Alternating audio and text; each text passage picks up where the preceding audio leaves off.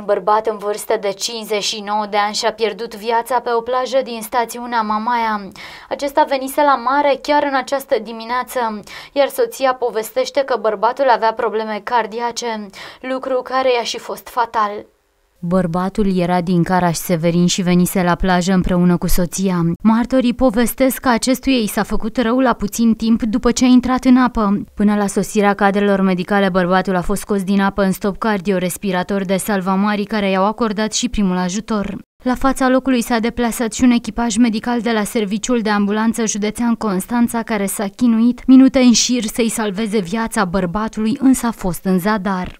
Domnul de 59 de ani din care a Severin era în apă cu soția și soția era un pic mai... El era aici la mal și să scălumba la ea așa, îi făcea semne încât de drăgălășenie așa și dintr-o dată i s-a făcut și a căzut în apă și soția a crezut că el se joacă, vezi, doamne, s-a băgat în apă și nu s-a mai ridicat și atunci soția s-a speriat și a țipat la cetățenii din apropiere și l-au luat și l-a scos afară.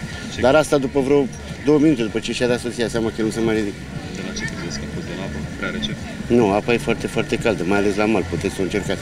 Ideea e că a făcut stop cardiorespirator.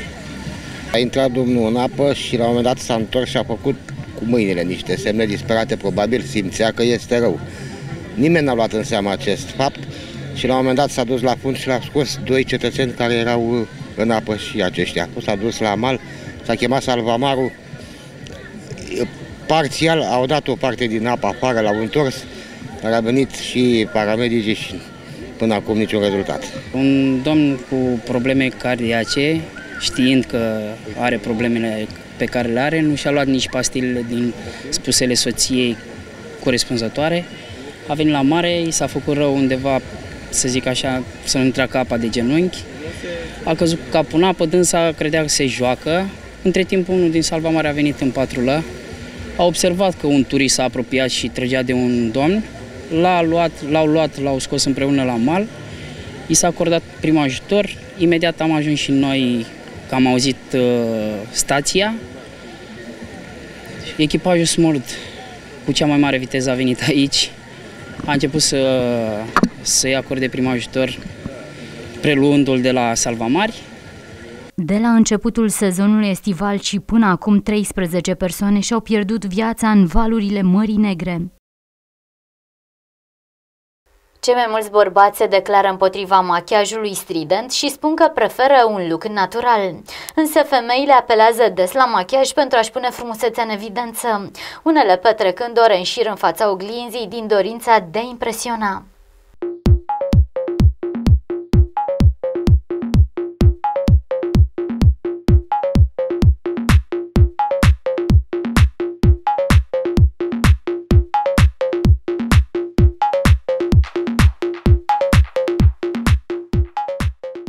Atunci când vine vorba despre machiajul femeilor, bărbații au păreri împărțite.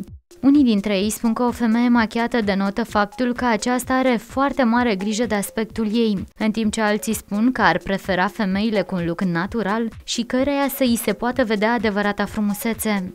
Marea majoritate a bărbaților preferă buzele pline și voluptoase, însă nu și luciul de buze cu textură de lipici. Multe doamne sunt încântate să experimenteze nuanțele luminoase și îndrăznețe care atrag atenția. În funcție de rezultatele căutării, bărbații cer nuanțe mai subtile și neutre. Femeile tind să își încarce imaginea ochilor cu niște gene lungi, false, însă partea masculină preferă trăsăturile naturale și unghiile sunt printre primele lucruri pe care bărbații le observă la femei. Niște unghii scurte, colorate și îngrijite îi vor impresiona mai mult decât niște unghii lungi în culori țipătoare. Și părerile bărbaților din Megidia sunt împărțite. Unii preferă doamnele și domnișoarele machiate, în timp ce alții le preferă naturale. Ce tipuri de fete preferi, cele machiate sau nemachiate? În principal cele nemachiate. De ce ne poți spune? Uh, pentru că sunt mult mai naturale și atunci când îți machezi, când te machezi, de fapt îți ascunzi și identitatea ta, propria identitate. De obicei ar trebui să nu te machezi sau să te machezi, dar subtil, nu strident, cât să ieși în evidență. Puțin, știi? Dar în mare parte cam toate fetele se machează, indiferent de vârstă, indiferent de ce probleme au la ten, se machează. Machiata. De ce preferi machiată? Nu știu. Ai un motiv anume? Îți place cum arată mai mult machiată? Da. Ce îți place la o fată machiată cel mai mult? Rujul, fața. Și dacă vezi aceeași fată nemachiată, îți mai place? Da. Așadar, încercați să abordați un look cât mai natural. Chiar dacă unele situații impun să ne machiem și să arătăm cât mai bine, asta nu înseamnă că ar trebui să exagerăm cu machiajul. În jurnal mai puteți urmări Absolvenții claselor a 8 care au obținut media 10 la evaluarea națională vor fi premiați cu câte o sumă de bani, dar și cei cu media maximă la bacalaureat vor fi recompensați în bani. Rămâneți alături de noi să aflați detalii. Consiliul Local Municipal Megidia se întrunește miercuri în ședința ordinară a lunii iulie. Pe ordinea de zi sunt incluse spre dezbatere 13 proiecte de hotărâri. Miercuri 26 iulie, începând cu ora 17 la primăria Megidia, va avea loc ședința ordinară a lunii iulie a Consiliului Local Municipal, în care vor fi dezbătute 13 proiecte de hotărâri. Zonarea municipiului Megidia, stabilirea impozitelor și taxelor locale, precum și a taxelor speciale pentru anul 2018, încetarea aplicabilității HCL numărul 57 per 23 a 3 2017, stabilirea salariilor de bază pentru funcțiile publice și contractuale din cadrul aparatului de specialitate al primarului și poliției locale Megidia, darea în administrarea imobilelor domeniul public al municipiului Megidia, în care își desfășoară activitatea unitățile de învățământ cu personalitate juridică din Unitatea Administrativ-Teritorială Megidia, județul Constanța. Aprobarea completării inventarului domeniului privat al municipiului Megidia, conform anexei 1 la procesul verbal al Comisiei de Inventariere, numărul 4202 per 17 7 2017. Completarea inventarului bunurilor care aparțin domeniului public al municipiului Megidia, județ Constanța, conform proces verbal de inventariere numărul 4199 per 2017 atestarea la domeniul privat al municipiului Megidia a imobilului teren, identificat conform proces verbal de inventariere, numărul 4200 per 17 7 2017 și acordarea unui mandat special primarului municipiului Megidia. Schimbarea destinației imobilelor ce fac obiectul raportului de specialitate numărul 4201 per 17 7 2017 din centralele termice pentru furnizarea energiei termice în spații pentru prestări servicii, aprobarea repartizării unei unități locative situate în bloc ANL, aprobarea încetării aplicabilității HCL numărul 24 per 2016, acordul CLM de aprobare a constituirii unei garanții sub forma sechestrului asiguratoriu asupra bunurilor proprietate SC Apollo Ecoterm SRL în favoarea MFP ANAF, DG RFB, Galați, AJFP Constanța, Serviciul Fiscal Municipal Megidia, transmiterea prin administrarea Consiliului Local al municipiului Megidia în administrarea SC Raja ESA Constanța a fântânii arteziene situate în piațeta Decebal. Megidienii pot participa la ședințele de Consiliu Local, acestea fiind publice. Absolvenții claselor a 8 care au obținut media 10 la evaluarea națională vor fi premiați cu câte o sumă de bani, dar și cei cu media maximă la bacalaureat vor fi recompensați în bani. În acest an, 137 de absolvenți de liceu au obținut media 10 la examenul de bacalaureat, sesiunea iunie-iulie 2017, iar 497 absolvenți de clasa 8 au obținut media 10 la evaluarea națională. Și de această dată, numele municipiului Megidia a fost dus pe cele mai înalte culme ale educației, datorită performanțelor școlare obținute de două tinere, Antonia Elena Nicoară de la școala gimnazială Constantin Brâncuș este tânăra care a reușit să obțină media 10 la evaluarea națională, dar și în cei patru ani de gimnaziu. Și Maria Ștefan Bratu, absolvent al liceului teoretic Nicolae Bălcescu, a obținut media 10 la examenul de bacalaureat. Se aprobă acordarea de stimulente financiare în valoare de 1000 de lei fiecărui absolvent al clasei 8 care a obținut media 10 la evaluarea națională pentru absolvenții clasei 8 2017. Se aproba acordarea de stimulente financiare în valoare de 3.000 de lei fiecărui absolvent de liceu care a obținut media 10 la examenul național de bacalaureat, sesiunea iunie-iulie 2017. Se menționează în proiectul executivului. Sumele necesare acordării acestor stimulente financiare se vor aloca din bugetul aprobat pe anul 2017. Ministerului Educației Naționale În jurnal mai puteți urmări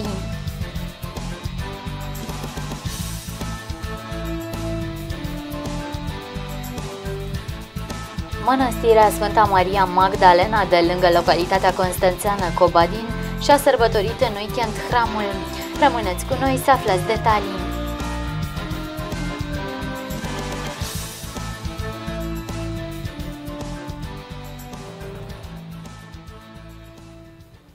Adopția este operațiunea juridică prin care se creează legătura strânsă între adoptator și adoptat, precum și legături de rudenie între adoptat și rudele adoptatorului. Sunt mulți megidieni care își doresc să adopte, dar renunță datorită procesului de adopție costisitor.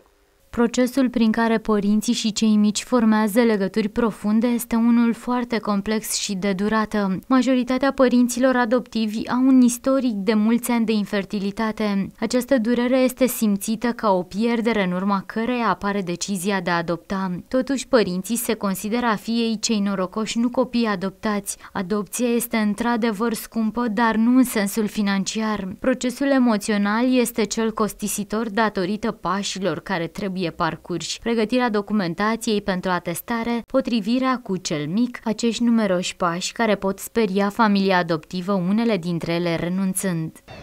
Ați adopta un copil? Aș adopta dacă aș avea o vârstă mai... Dacă aș fi mai tânără, dar mai cam greu la bătrâneță să adoptezi copii. Ce ați prefera, fată sau băiat? Aș prefera și fată și băiat, da. Am acum, am copii, am nepoți, am Credeți că este greu să adoptăm copii? Păi la legile din România, da. Foarte greu. Credeți că ar fi mai mulți tineri care ar adopta dacă n-ar fi aceste legi, aceste acte? Cred că da, cred că da. Cred că da.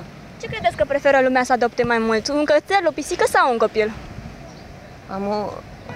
mai degrabă animale, da, decât copii, că copiii animalul le ieși de pe stradă. Dacă îl găsești și îl duci în curte și asta. Copiii e foarte greu, legile din România ani de zile și poate nici atunci. Cu siguranță. Ce ați prefera, fată, băiat? Nu contează. Credeți că este bine să adoptăm? E foarte bine. De ce credeți? Crești un suflet no. decât un animal, zic că e mai bine un om. Credeți că oamenii preferă să adopte mai mult animale sau copii? Cred că animale. De ce? Nu știu, au o slăbiciune pentru animale, probabil. Credeți că este greu să adoptăm un copil? Nu este greu. Ești de acord ca părinții tăi să înfieze un copil? Da, normal. Crezi că copiii care nu sunt de acord uh, să înfieze un copil greșesc? Da. De ce? Păi, în primul rând, uh, pentru că acei copii nu au părinți și nu au niciun drept să judece pe alții pentru că așa s-au născut sau părinților nu au fost în stare pentru a-i îngriji. Crezi că este important să înfiem un copil? În primul rând, uh, nu cred că este atât de important pe cât uh, ar trebui să fie îngrijirea unui copil, pentru că dacă nu se poate acest lucru, atunci automat se apelează la înfierea unui copil și în primul rând trebuie să fii în stare să-l întreții pentru a înfia și apoi nu cred că multă lume s-ar gândi să înfieze. Ce crezi că preferă tinerii, să înfieze animale sau copii? Uh, în general animale. De ce crezi că animale? Pentru că, nu știu, se pare mai drăguț sau mai ușor de îngrijit. Tu dacă ai fi un uh, soț, ce ai prefera să înfiezi, un copil sau un animal? Uh, nu știu, cred că un animal mai degrabă. În primul rând, dacă aș avea copii. Dacă nu aș avea copii, automat mi-aș dori unul să am. Ce ai dorit, fetiță sau băiețel? Băiețel. De ce? Nu știu, mi se pare mai mai frumos să am un băiețel decât o fetiță. Bine că și fetița, dacă ar fi fetiță, nu m-a supărat, da? Eu mi-aș dori băiețel. Iar atunci când crește, ei spune că este înfiat Sau de când este mic, de când este, are o vârstă fragedă? Nu, aș, aș aștepta o vreme, cât să poată să perceapă el că ce înseamnă a fi înfiat și toate cele. L-ai lăsat să își cunoască părinții adevărați? Da, Crezi că este important să-i cunoască? da.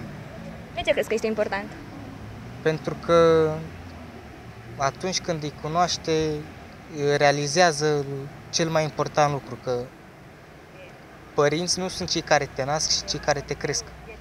Decizia adopției este legată de o serie de factori care privesc doar familia. Această decizie este calculată și planificată de membrii săi. Chiar dacă multe persoane au auzit despre adopții nereușite, nu trebuie să generalizeze. Toți copiii au nevoie de un mediu stabil, previzibil, au nevoie de siguranță, de căldură și de părinți cu disponibilitate afectivă care să răspundă imediat semnalelor transmise de copil.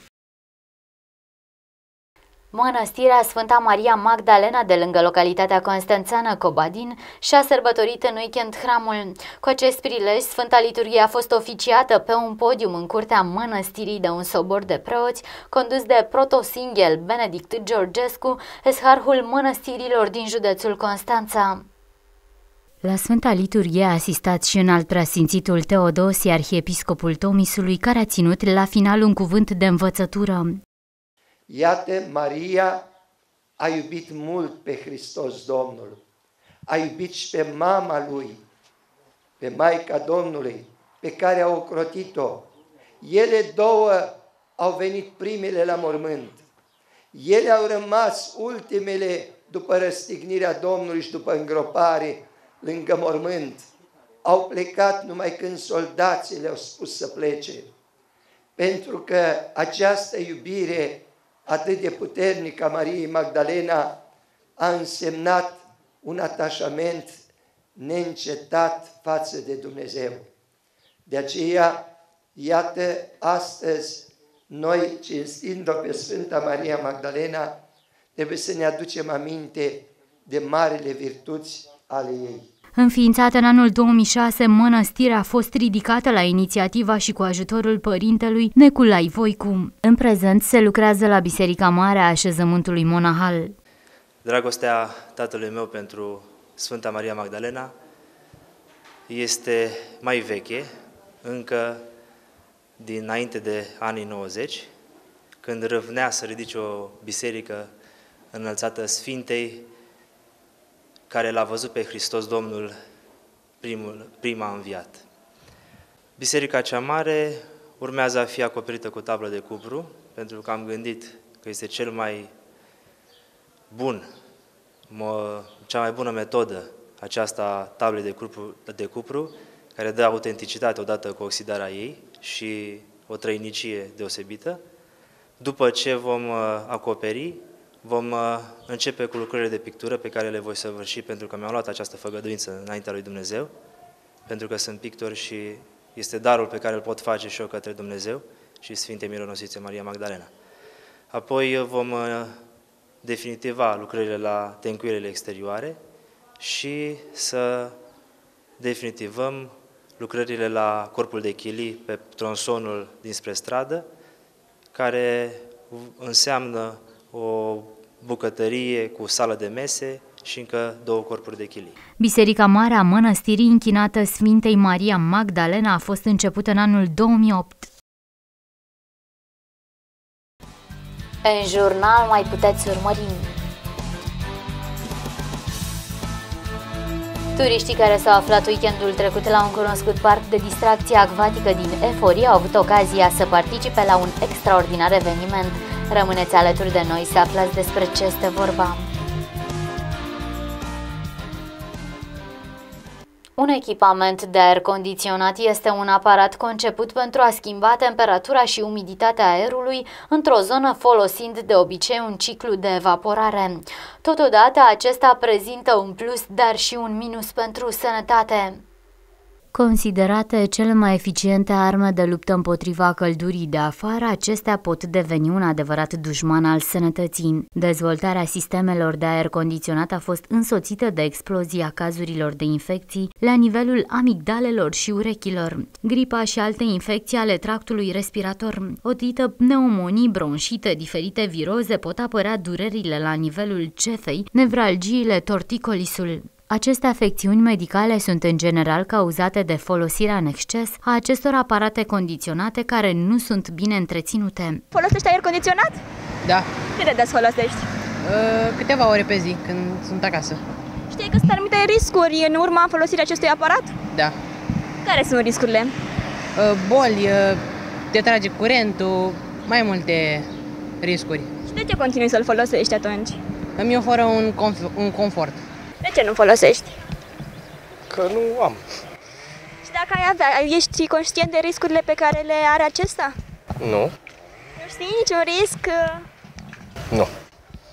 Dacă ai avea aer condiționat, cât de des le folosi? Foarte des, pentru că este foarte cald afară. Folosești aer, aer condiționat? Da. Cât de des? De câte ori nevoie? Câte ore pe zi? Două ore. Cât de des folosiți? Nu, fiecare zi. Cam câte ore pe zi? Toată ziua. Știați că există anumite riscuri în urma folosirii acestui aparat? Știu că sunt câteva, dar nu se poate trăi la ultimul etaj fără aer. Folosiți aer condiționat? Bună ziua, în fiecare zi. Cam câte ore? Cam 3-4. Depinde, depinde de cât stau acasă. Știați că există niște riscuri în urma folosirii acestui aparat? Da, știu, mucegaiul acela pe care îl faci, aerul condiționat, da. Dar știați că și pentru sănătatea noastră este periculos? Bănuiesc că da. Și continuați să-l folosiți. Bineînțeles că nu se poate pe căldurile astea. În zilele caniculare, cei mai mulți dintre noi aleg să se răcorească deseori în încăperi unde există aer condiționat și în care temperaturile sunt cu mult mai scăzute decât cele de afară. Medicii specialiști ne avertizează însă că folosirea în exces poate duce la probleme grave ale sănătății. Se recomandă aerisirea camerei înainte de pornirea aparatului. Fluxul de aer rece nu trebuie să ajungă în direcția persoanelor din cameră, iar temperatura trebuie să se situeze în jurul valorii de 22-24 de grade Celsius. Păstrați o umiditate medie cuprinsă între 60% și 70%. Nu depozitați niciodată lângă aerul condiționat substanțe chimice care se pot răspândi în mediul înconjurător. Medicii ne avertizează să-l folosim însă cu măsură pentru prevenirea îmbolnăvirii. Ca să nu avem probleme de sănătate, ar fi bine să nu ne așezăm chiar în bătaia aerului condiționat. Pentru a preveni problemele legate de aerul condiționat ar trebui acordată o atenție sporită sistemului de ventilație și redusă pe cât se poate folosirea acestui aparat. Turiștii care s-au aflat weekendul trecut la un cunoscut parc de distracție acvatic din Eforie au avut ocazia să participe la un extraordinar eveniment monden, și anume o prezentare a casei de modă Botezatu. În acest fel, cei prezenți au putut beneficia de consilierea personală a binecunoscutului designer vestimentar Cătălin Botezatu.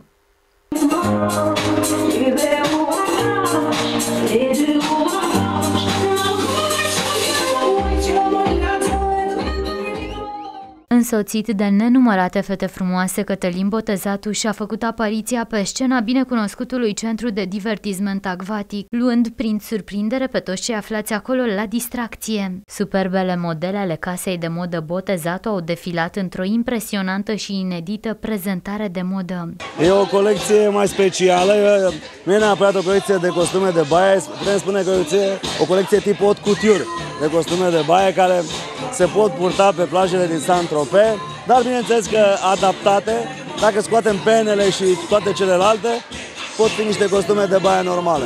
Lipsa de snobism a celebrului designer a fost apreciată de audiență. Mai mult, aceștia au primit și sfaturi de fashion pentru sezonul estival 2017. Pentru că este vară, în primul rând v-aș recomanda uh, non-culoarea alb, care se poartă chiar dacă se murdărește repede un costum de baie alb, întotdeauna va atrage atenția.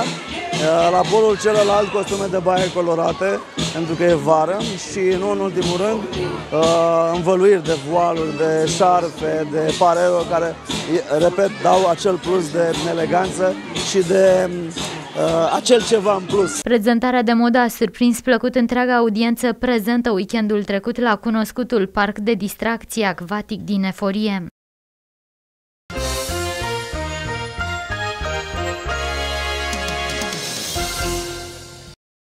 Un bărbat în vârstă de 43 de ani se plimbă nestingherit între satul de reședință Vălen din județul Constanța și spitalul municipal din Megidia, cu plăgi infectate pline de viermi pe membrele inferioare. Este deja un pacient fidel al spitalului din Megidia, la o perioadă de timp făcându-și apariția pentru a-i se acorda ajutor medical de specialitate. Bărbatul ar avea nevoie de asistență socială din partea autorităților din comuna Dobromir, dar care, din păcate, nici până în ziua de astăzi nu i-a fost acordată.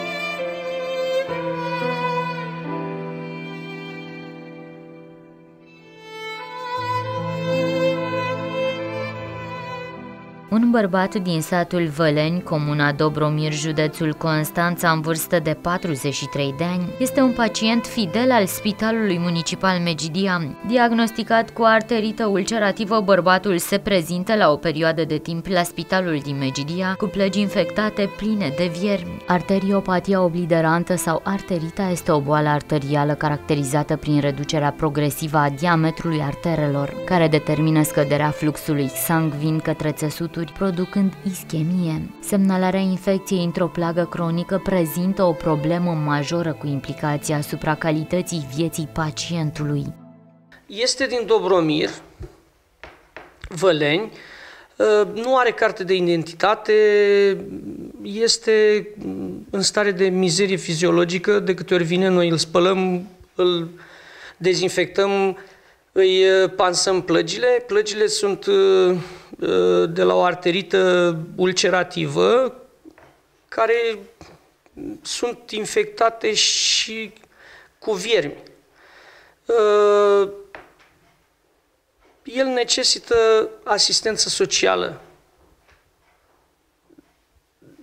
Indiferent de câte ori l-am pansat noi sau l-am dezinfectat, l-am curățat, dacă merge tot în mediul acela mizer, își infectează din nou plăgile, uh, arteriopatia aceasta ulcerativă este cronică, nu se vindecă, deci ar necesita îngrijire într-un centru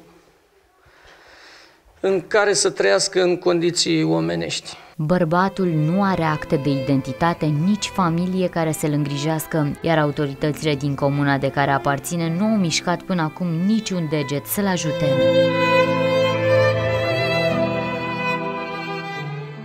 Pacientul nu avem cunoștință să aibă familie, uh, umblă prin parcuri, pe străzi, are și ceva deficiențe cognitive, din ce s-au exprimat specialiștii în foile de observație. Acum, dumnealui necesită asistență socială și uh, o conlucrare între serviciile medicale și cele de asistență socială uh, și respectiv uh, Serviciul de Asistență Socială Dobromir. Deci cei de acolo, din Dobromir, ar trebui să se ocupe de cazul lui. Uh, dacă este în evidențele dumnealor, cum uh, l-am găsit noi în recunoașterea făcută de poliție, mm, normal, uh, asistența socială de pe raza unde locuiește pacientul se ocupă de acest caz. Și acum ce se va întâmpla cu el? A fost curățat, a fost pansat, mai departe ce se va întâmpla cu el?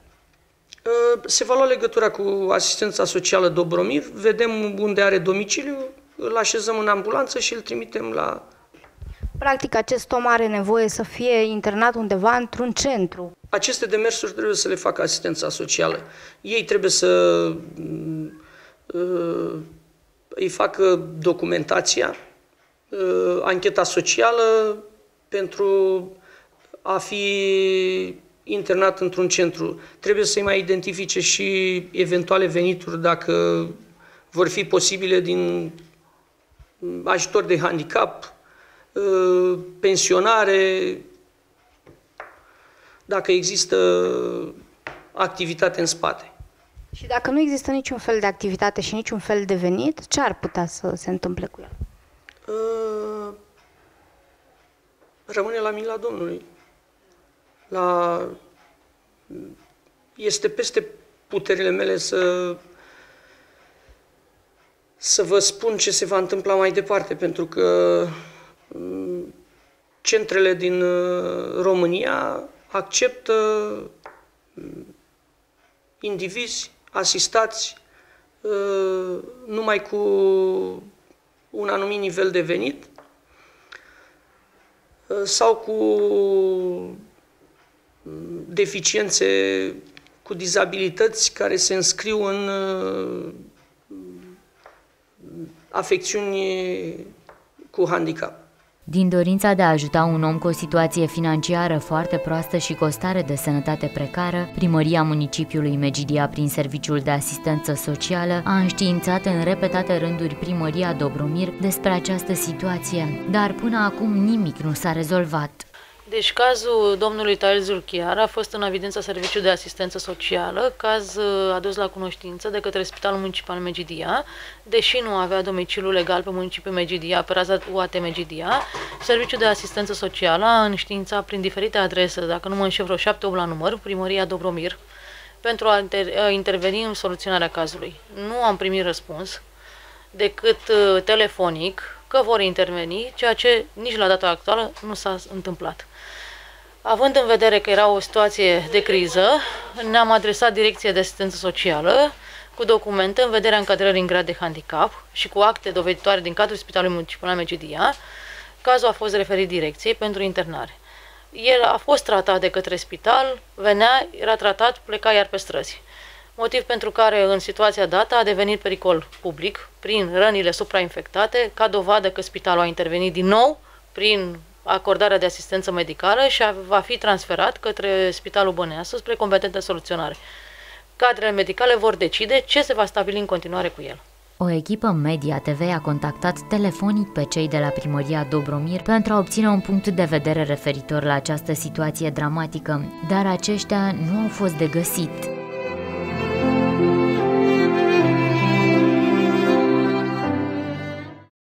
Primăria municipiului Megidia a organizat astăzi, începând cu ora 11 în sala de ședințe, dezbatere publică cu tema Delegarea serviciului de iluminat public local în municipiul Megidia, etapa Consultare publică. Având în vedere situația existentă și pornind de la premisa că îmbunătățirea sistemului de iluminat public poate crea cadrul de dezvoltare al unei localități moderne, municipalitatea consideră că se impune realizarea unui sistem de iluminat public unitar și eficient care să corespundă normelor în vigoare, în paralel cu optimizarea consumurilor energetice. Obiectivele propuse prin realizarea investiției de modernizare a sistemului de iluminat public în municipiul Megidia, în concordanță cu cu cerințele legislației de specialitate în vigoare, au condus la selectarea unei opțiuni tehnico-economice. Ca soluție a optimizării acestui serviciu pentru municipiul Megidia și a implementării unui sistem de gestiune a iluminatului public eficient și cu costuri reduse, se vor amplasa pe marginea drumurilor publice 3424 de puncte luminoase și 349 de aparate de iluminat arhitectural. În municipiul Megidia sunt uh, undeva la 2700 de, de lămpi uh, de iluminat public uh, stradal, Uh, pentru a putea acoperi necesarul de iluminat public stradal în toate zonele, atât centrale cât și uh, periferice, uh, e nevoie de undeva la 3400 de corpuri de iluminat public. De asemenea, noi am mai prevăzut un plus de 340, 300 și puțin de, de corpuri de iluminat arhitectural pentru a putea pune în valoare anumite obiective din municipiul nostru, avem clădiri deosebite cu arhitectură deosebită pe care trebuie să le punem în valoare și să le uh, poată vedea omul atât ziua cât și seara în uh, splendoarea lor. Referitor la economia realizată la uh, bugetul local din, din costurile de energie, um, timp de s-a realizat un studiu și timp de 10 ani de zile s-ar cheltui cu Ehm, energia electrică consumată undeva la 8 milioane de lei. Cu tehnologia LED, dacă s-ar schimba corpurile de iluminat din corpuri de iluminat cu incandescență, multe dintre ele de foarte mulți ani de zile cu tehnologii învechite, tehnologii de zeci de ani, în tehnologia LED, tehnologie care permite adaptarea adaptarea intensității și consumului de energie în funcție de traficul ce se realizează. Adică după ora 4 uh, dimineața poate să scadă la un 50%, la un 70% din, uh, din consum. Economia ar fi de la 8 milioane la 3 milioane. Adică o economie destul de mare, deci mai mult uh, decât jumătate. Calitatea iluminatului ca și serviciu comunitar poate determina în mod cert creșterea nivelului de siguranță la nivel local, prin creșterea beneficiilor aduse de intensificarea activității umane în exterior dincolo de lăsarea întunericului. Pentru implementarea unui sistem de gestiune a iluminatului public, opțiunile autorității locale pentru optimizarea acestui serviciu se manifestă în paralel cu dezvoltarea economico-socială a municipiului și cu cererea unei îmbunătățiri a calității iluminatului. În jurnal mai puteți urmări. Clubul Nautic Calatis din Mangalia a găzduit zilele trecute simpozionul dedicat centenarului participării României la războiul pentru întregirea neamului. Rămâneți alături de noi să aflați detalii. Biblioteca Municipală Megidia, filiala Nord, organizează cu sprijinul voluntarilor din instituție proiectul Biblo Roan 2, o vânătoare de comori compusă atât din probe sportive cât și din teste de gândire și creativitate, ce vor solicita abilitățile de adaptare și reacție ale participanților.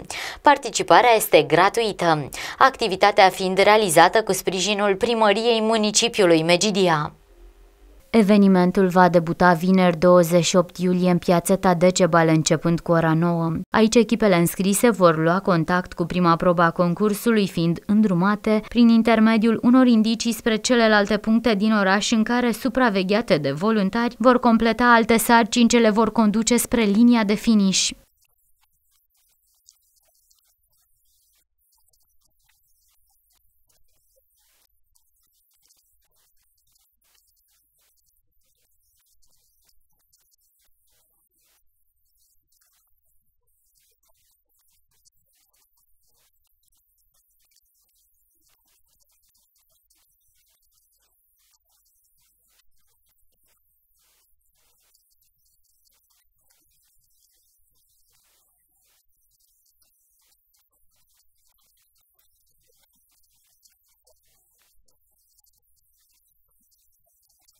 Concursul este adresat tuturor persoanelor cu vârste cuprinse între 14 și 18 ani. O echipă completă și eligibilă pentru participare fiind formată din patru membri. Întreaga atenție a organizatorilor se concentrează pe promovarea educației, a lecturii și a unui stil de viață sănătos, fiind implementate multiple metode de educație non-formală, ce au ca scop formarea și dezvoltarea abilităților de comunicare între membrii unei echipe. Clubul Nautic Calatis din Mangalia a găzduit zilele trecute simpozionul dedicat centenarului participării României la războiul pentru întregirea neamului, organizat de sub filiala Mangalia Asociației Cultul Eroilor Regina Maria. La eveniment au fost prezentate o serie de lucrări științifice despre primul război mondial alături de un material cuprinzând descrierea monumentelor eroilor din vechea plasa Mangaliei și de cântece patriotice și melodii proprii proprii sau doine aparținând folclorului dobrogean, inspirate din acea perioadă. Colonelul în rezervă Remus Macovei, președintele filialei Constanța a Asociației Cultul Eroilor Regina Maria, a relatat condițiile vitrege în care au fost nevoiți să lupte soldații români, în marea lor majoritate țărani simpli. Militarii trebuia să stea la un loc cu civilii din zonă, fără cele mai elementare norme de igienă, fără a avea o alimentație corespunzătoare, fără a avea un serviciu sanitar. Doctor în științe istorice Sorin Marcel Colesniuc a prezentat principalele fronturi de luptă ale soldaților români. De la Mărăști, Mărășești Oituz, aducând aminte totodată publicului de faptul că evenimente similare celui organizat la Mangalia au loc în toată țara. În aceste zile, instituțiile din întreaga țară, istorici, militari, organizează activități de comemorare a eroilor căzuți exact în urmă cu 100 de ani. Ne alăturăm și noi acestor manifestări, rememorând astăzi faptele de arme ale ostașilor români. Glorie eternă și recunoștință veșnică eroilor neamului românesc. Vă mulțumesc! Un portret amplu al unuia dintre cei mai cunoscuți eroi dobrogeni, cernavodanul Dimitrie Chirescu, a fost realizat de dr. Lavinia Gheorghe. Dimitrie de Chirescu, purtătorul de drapel al, al unității, într-un act de responsabilitate supremă a desfășurat uh, steagul. În jurul lui și al comandantului lui s-au, uh, format două escadroane care au realiza nu doar salvarea comandantului și a steagului, ci și retragerea ordonată.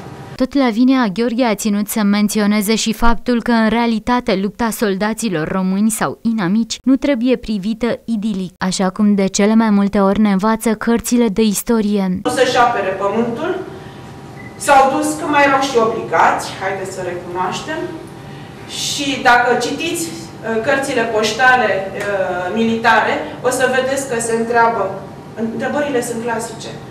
Ce face familia? Ce face la mic? Ce fac părinții? V-ați plătit datoriile? Ați muncit pământul? Ați avut când și cu ce? Și să știți că acelor oameni le-a fost frică. Soldatul român neînfricat, nu. Omul din fiecare soldat a făcut ca în scrisor să răzbată sentimentul de frică.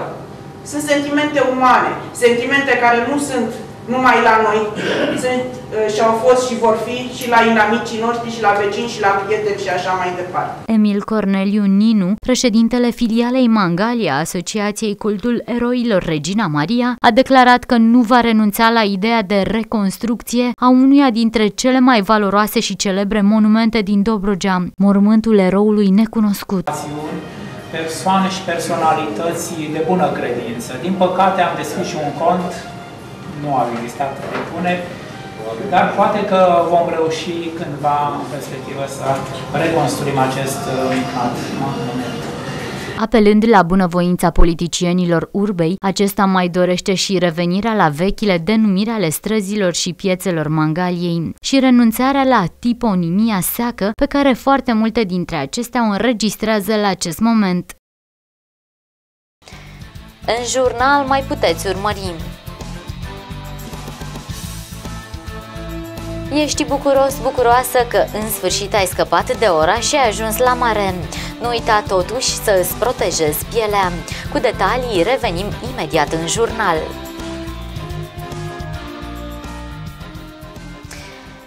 Jandarmii din cadrul grupării mobile Constanța cu sprijinul poliției Ovidiu și Isu Dobrogea vor asigura măsurile de ordine publică și siguranță miercuri 26 iulie, începând cu ora 21 pe stadionul central al complexului Academiei Hagi de la Ovidiu, unde va avea loc meciul de fotbal dintre echipele FC Viitorul și formația Apoel Nicosia, din cadrul UEFA Champions League turul 3 preliminar.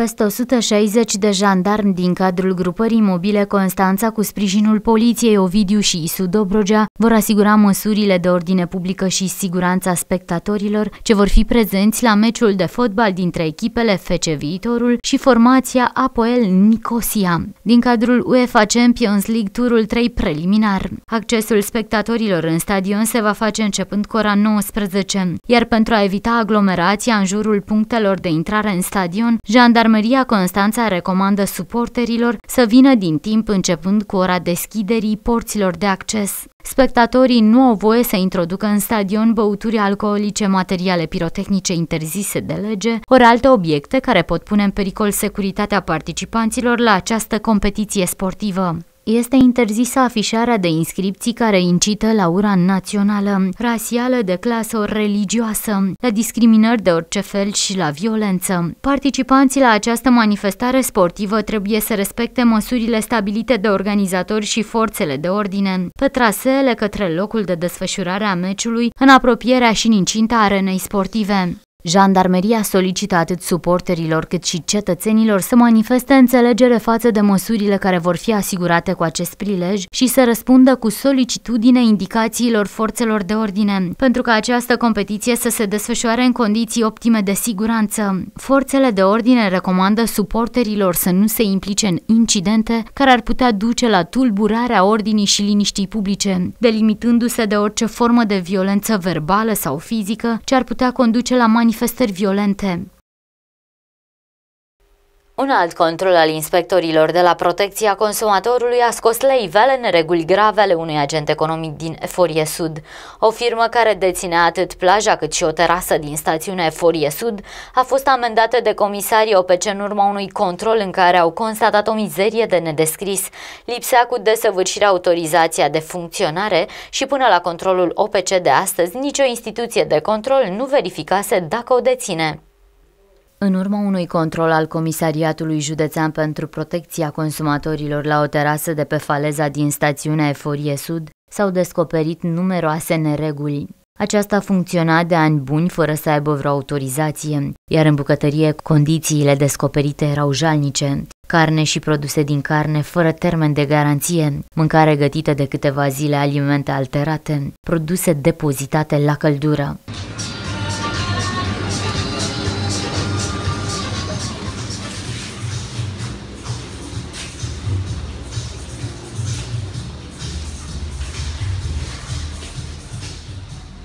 Inspectorii OPC au luat decizia de a opri temporar prestarea de servicii atât pentru plajă, bar și restaurant. Cu privire la toaleta publică se va face o adresă către Direcția de Sănătate Publică. Ești bucuros, bucuroasă că în sfârșit ai scăpat de oraș și ai ajuns la mare. Nu uita totuși să-ți protejezi pielea de razele solare, fiindcă arsurile în urma expunerii prelungite sau la ore nepotrivite sunt extrem de neplăcute. Arsurile solare sunt afecțiuni frecvente în sezonul estival. Acestea apar de obicei după o expunere bruscă și de durată a pielii la soare, fără protecție adecvată. Dacă nu ați prevenit încă din timp aceste situații neplăcute, nu vă panicați. Există anumite remedii naturiste sau leacuri băbești care vă pot scăpa de disconfort.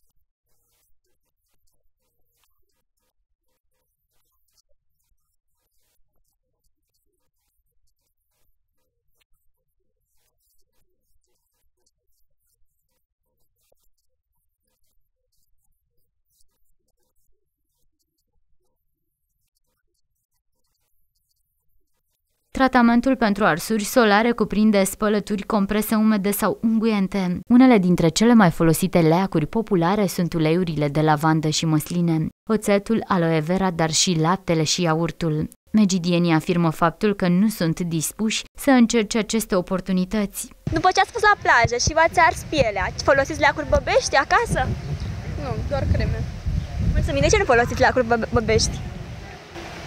Pentru că sunt astea creme pe, pe piață și nu are rost. Cu creme. Și în afară leacuri mai băbești folosiți? Nu. De ce nu folosiți? Pentru că asta au ieșit acum pe piață. Leacuri băbești. Ce? Ce leacuri băbești împotriva asta? Acelea cu iaurt, cu uh, A, da, uleiuri. Da, da, am uitat de alea. Mm. Folosiți? Bine, nu prea ne ars ca să putem să folosim chestii, să ajungem la chestiile astea. Dar nu. Dar dacă v-ați arde foarte tare, ar, ați folosi? Nu. De ce? Pentru că oricum nu trec. Alea ameliorează, cred că puțin. N-am, nu am uh, pățit ca să... N-am trecut prin așa ceva ca să știu. Folosiți anumite lacuri băbești, ca de exemplu zmântâna. Nu folosesc eu smântână, nu folosesc nimic. Dar la plajă cum vă protejați? Eu, deci, creme cu factor ridicat de, de protecție. Dar lacuri băbești folosiți, ca de exemplu uleiuri. De măsline pe, pentru un bronz mai natural, ci că s-ar spune că e, e ok, da? Nu, nu, nu folosesc. Nici antibronz? Nu. Nici pentru copii, nepoți? Nu, nu, nu. Adică doar cremă cu protecție, cu, cu factor ridicat de protecție. De obicei cu cremă, dar nu-și face efect, am probleme cu cremă. Lacuri băbești folosiți? Nu. Deloc nici antibronzului? Nici smântână, uleiuri. De obicei când mă duc la plajă pe iaurt, așa, dar nu... În cazul arsurilor solare, cel mai indicat este să întrebați doctorul sau farmacistul despre efectele secundare ale medicamentelor pe care le luați. Se poate ca anumite medicamente sau componente ale lor să vă facă mai sensibili la razele solare. Aveți mare grijă de pielea dumneavoastră. Atunci când o expuneți la soare, dacă luați antibiotice, tranquilizante, antifungice, contraceptive orale, diuretice, medicamente pentru diabet, remediile naturiste sunt multe. Însă, dacă doriți să nu ajungeți la ele, trebuie să folosiți încă de la primul contact cu razele soarelui o pălărie sau o șapcă, o cremă cu factor de protecție și ochelari de soare.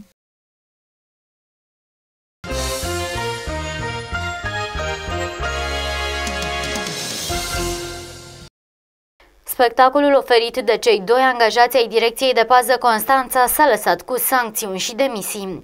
Ca urmare a incidentului în care a fost implicat Lucian Giurcă, șeful Direcției Județene de Pază și-a depus demisia. Atribuțiile acestuia vor fi preluate temporar de către Sebastian Rancichi până la prima ședință a Consiliului Județean când va fi desemnată o conducere interimară.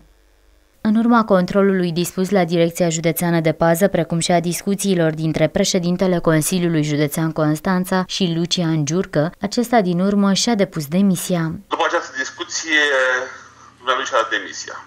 Și pentru a nu fi blocat actele direcției, pentru că este o direcție destul de mare, interimatul va fi asigurat de domnul Sebastian Rancichi, directorul Direcției Generale de Administrare Domeniului Public și Privat. Potrivit lui Țuțuianu, acesta va coordona funcționarea Direcției Județene de Pază până la prima ședință de Consiliu Județean, când va fi desemnată o conducere interimară până la organizarea unui concurs, cât despre inspectorul de securitate în cadrul Diviziei de Pază, Valentin Oprică, acesta este suspendat temporar din funcție, până la finalizarea anchetei când va fi luată o decizie fermă. Eu am spus-o de la început și văd că unii dintre colegii mei nu au înțeles-o, că nu voi tolera niciunui angajat fapte care să aducă prejudicii de imagine instituțiilor statului. Președintele CJC a mai precizat că în urma verificărilor efectuate s-a constatat că cei doi reprezentanți ai Direcției Județene de Pază, surprinși de organele de poliție în cursul zilei de vineri, nu se aflau în interes de serviciu. Secretul cozilor de cireș este că prin ele se tranzitează toată seva care hrănește fructele în procesul lor de creștere și de coacere. În aceste codițe găsim seruri de potasiu care ajută la regularizarea ritmului cardiac, dar au și efect de stimulare a rinichilor. Cireșele au în compoziția lor trei substanțe care fac din ele adevărate medicamente ale verii, dușman neîntrecut al bolilor provocate de stresul modern, fie că vorbim despre reumatism, gută, cistită, tuse sau celulită. Toate aceste probleme pot fi îndepărtate dacă beneficiem de calitățile diuretice ale ceaiurilor din coz de cireșe, spun fitoterapeuții, însă ceaiul din coz de cireșe are un efect uimitor și pentru siluetă.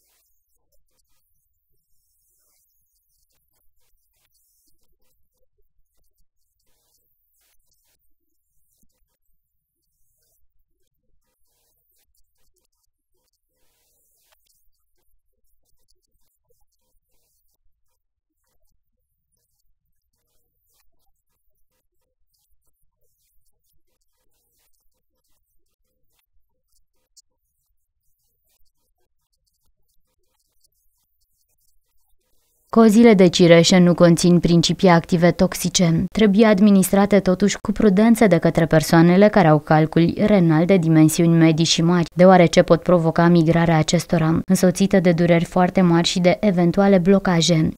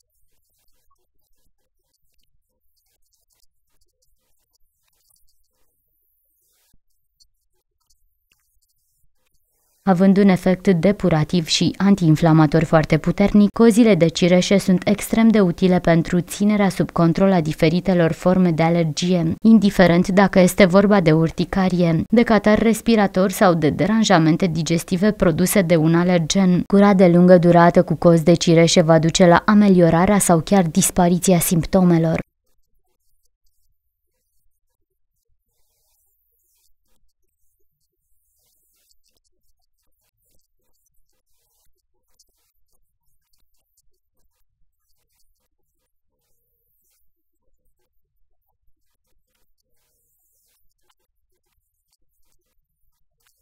Pentru a obține un astfel de preparat minune, trebuie să uscăm cozile de cireșe, urmând să fie depozitate în pungi de hârtie, într-un loc răcoros. Decoctul trebuie pus la fiert într-o jumătate de litru de apă și două lingurițe de codițe uscate. Se fierb la foc mic timp de 10 minute, apoi se lasă 20 de minute la infuzat, dar putem alege de asemenea și plicurile de ceai. Dezavantajul acestora este că hârtia poate absorbi antioxidanții prezenți în ceai sau poate chiar elibera substanțe periculoase din cauza introducerii în apă fierbinte. Singurele avantaje ale ceaiului la plic sunt ușurința cu care poate fi preparat și faptul că se dizolvă mai bine nutrienții.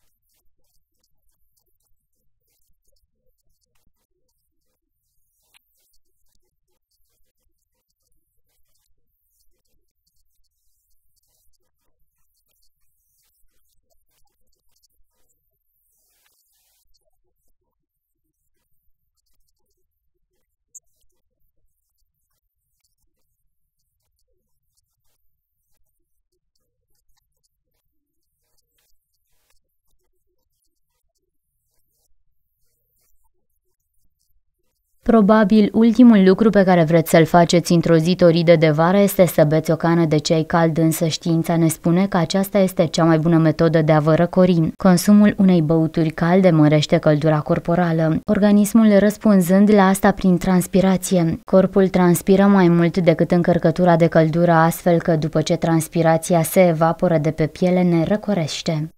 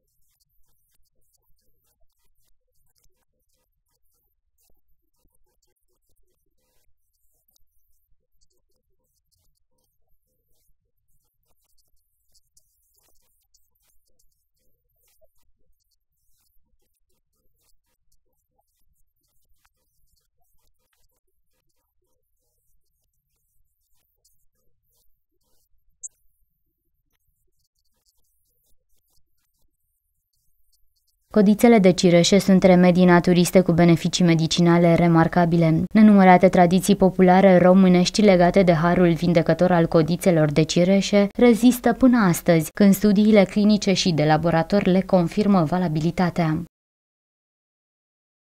În jurnal mai puteți urmări Zilele acestea sunt perfecte pentru plajă, așa că nu puțin sunt turiștii care se întind la soare pentru a se bronza. Rămâneți cu noi să aflați amănunte!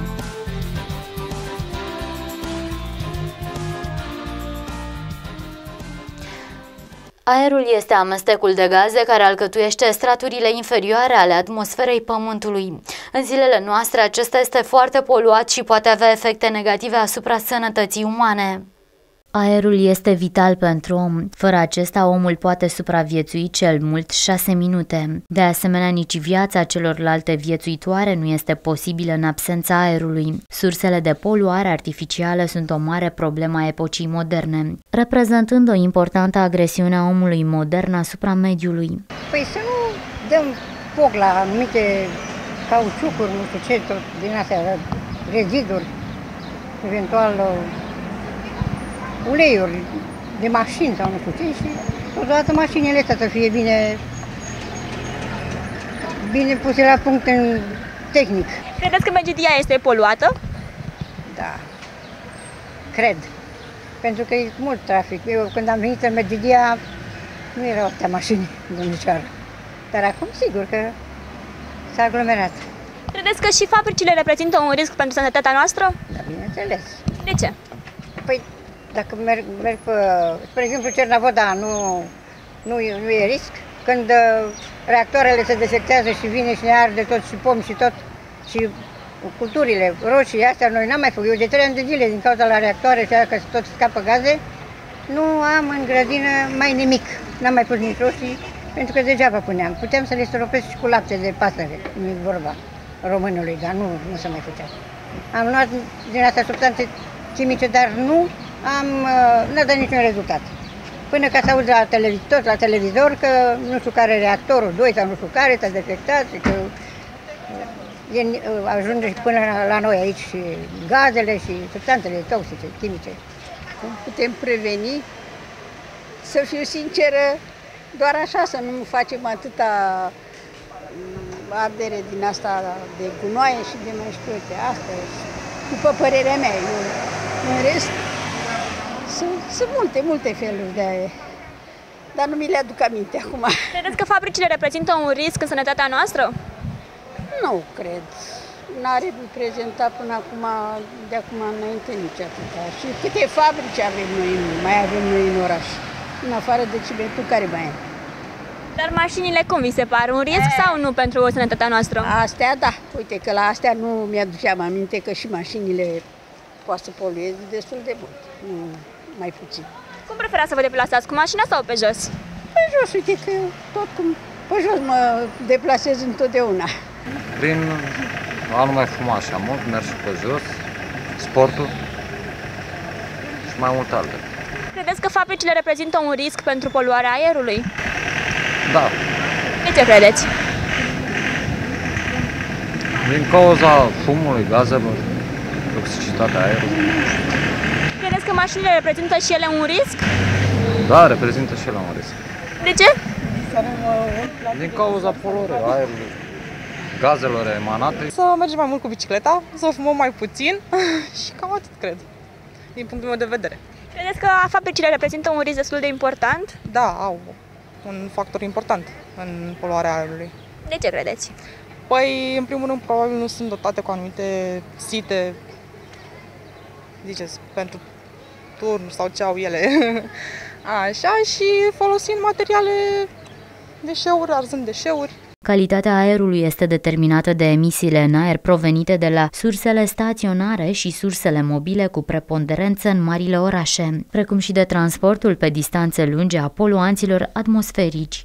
Toți locuitorii României dornici să se informeze cu privire la parametrii de calitate a aerului pot accesa gratuit încă din data de 24 iulie site-ul calitateaer.ro în scopul adaptării la cerințele moderne ale aplicațiilor web. Acum și interfața poate fi afișată publicului, într-un mod prietenos pe orice fel de dispozitiv, atât pe telefoane mobile și tablete, cât și pe desktop, adaptându-se la dimensiunile ecranului folosit. Utilizatorii au acum și posibilitatea de a vizualiza datele istorice, începând cu anul 2007 și terminând cu data curentă. Prin selectarea opțiunilor, aceștia pot vizualiza simultan sau separat date orare, zilnice sau anuale, de la unul sau mai mulți poluanți, pentru una sau mai multe stații de monitorizare în orice combinație. Datele selectate pot fi vizualizate sub formă de grafic sau tabel, sau pot fi exportate sub formă de fișier. Nu știu, mai puține mașini, chiar nu m-am gândit foarte bine la poluarea aerului în ultima vreme. Să fim mai responsabili cu mediul, mai economi. Știați că există anumite aplicații prin care ne dăm seama cât de poluat este aerul dintr-o localitate? Da, știu că există și am auzit la știri. Se măsoară poluarea aerului, dar am înțeles că încă nu s-a investit în echipamentele respective. Ați accesat astfel de aplicație? Uh, nu. De ce? Păi, Uitați, în centru aici mi se pare multă verdeață, se simte aerul curat cât de cât. Sunt uh, orașe mai poluate ca Megidia, București sau altele în care simți în, uh, simți în nări gazul mașinilor, da. Deci să înțelegem că credeți că Megedia nu este atât de poluată față de alte orașe, nu există un risc destul de mare la îmbolnăvirii. Da, cred că da. Sunt destule lucruri care se bagă, cel puțin la fabrica de ciment, care chiar se vede pe acoperișuri și pe ciment pe jos prin curte. Nu putem face absolut nimic pentru a preveni poluarea? Se pot face multe lucruri, dar nu știu. Nu știu dacă noi chiar am putea face ceva. La nivelul nostru mă refer, ca locuitor. Și azi că există și anumite site-uri prin care ne dăm seama cât de poluat este aerul dintr-o localitate?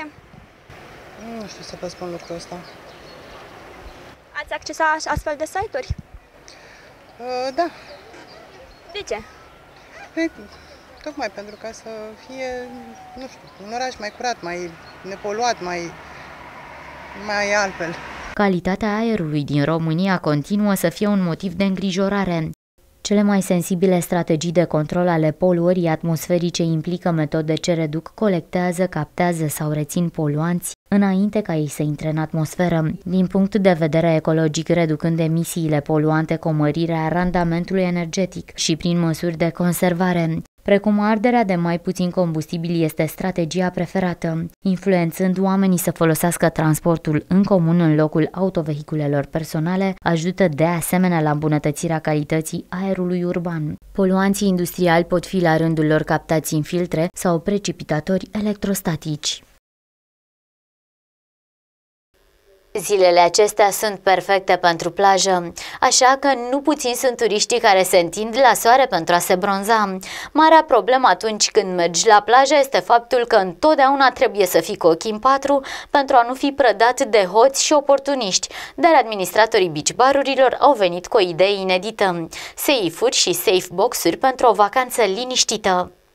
Una dintre cele mai mari probleme pe care le au cei care merg singuri la plajă sau la piscină este faptul că sunt stresați, că cineva le-ar putea fura lucrurile importante, precum telefonul sau tableta, pe care le lasă lângă șezlong. În ajutorul clienților au venit proprietarii beach barurilor, care au montat safe-uri la bar sau safe box-uri montate lângă șezlong. Aici avem un safe box, adică un safe pentru păstrarea bunurilor personale. Tot a plecat din dorința de a trata clientul cum am vrea noi să fim tratați când mergem în altă parte. De multe ori, la mulți clienți, la mulți prieteni am întâmpinat această problemă. Nu am unde să-mi las obiectele când mă duc în apă dacă nu e nimeni în preajmă. Am găsit această soluție, aceste safe box-uri care le putem folosi cu o brățară magnetică. Cerem ospătarului să ne aducă. Aici înăuntru avem brățarea propriu-zis a safe-ului, unde dumneavoastră vă puteți introduce toate obiectele de valoare. După ce le introduceți, închideți această ușiță, iar automat ea se închide. Aceasta este rezistentă la apă, poți să intri cu ea, de fiecare dată când ai nevoie, vii, pești, poți să iei bunurile de aici. Folosesc turiștii din ce Da, ați văzut dumneavoastră? Da. aceste- Foarte mulți uh, turiști uh, folosesc acest serviciu. Sunt foarte mulțumiți de treaba asta, pentru că v-am zis, sunt mulți care vin câte două persoane, care vor cupluri, care vor să meargă în același timp în apă și n-au unde să-și lase lucrurile. Și atunci ei vin și închiriază această cutie, safe box. Prețul este destul de mic, închirierea ei este de 10 lei pe zi. Nu există client care să nu fie așteptat cel puțin o dată minute în șir pe șezlong așteptând să apară un ospătar care să ia comanda. Este o situație frustrantă, pe care nici clienții, nici ospătarii nu și-o doresc. Rezolvarea acestei probleme o constituie un dispozitiv de apelare așezat pe baldachin sau pe șezlong și pagere, purtate de personalul de servire care comunică între ele prin unde radio. Folosirea unui astfel de sistem are o mulțime de avantaje atât pentru client cât și pentru ospătar. Cum ți se pare ideea de buton la șezlong și să cheme ospătarul la tine? Se pare foarte ingenios și ținând cont că ai venit să ne relaxăm, e mai bine că economisim drumul de aici până acolo. E foarte inteligent. L-ai folosit? L-am folosit de vreo două, trei ori și ieri și astăzi și mi se pare super, super ok. Vine repede ospătarii? Câteodată da, câteodată nu vă dați seama. Când sunt multe cerințe, vin mai încet. Dar e super ok. Ai mai văzut pe alte plaje? Uh, am mai văzut undeva, dar am văzut diferență e, se află la o masă. Da, deci e altceva. Ideea e preluată, cred că, de acolo. Foarte comodă. Dar de multe ori apăsăm butonul și întârzi ospătarul. Probabil sunt foarte aglomerați. Da, probabil. Dar ideea în sine, Da, ideea în sine e foarte bună. practic, nu mai trebuie să mergi până la bar. Da, da, da, sau să faci semne disperate să te vadă cineva. Ați folosit-o?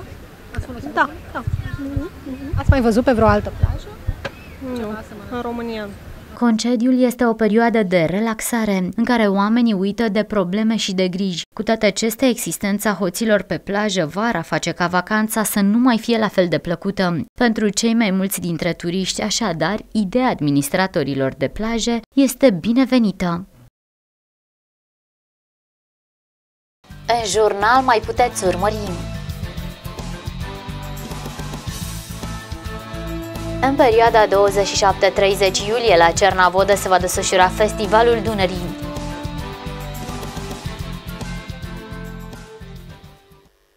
Incidentele tragice trezesc de cele mai multe ori reacții imediate.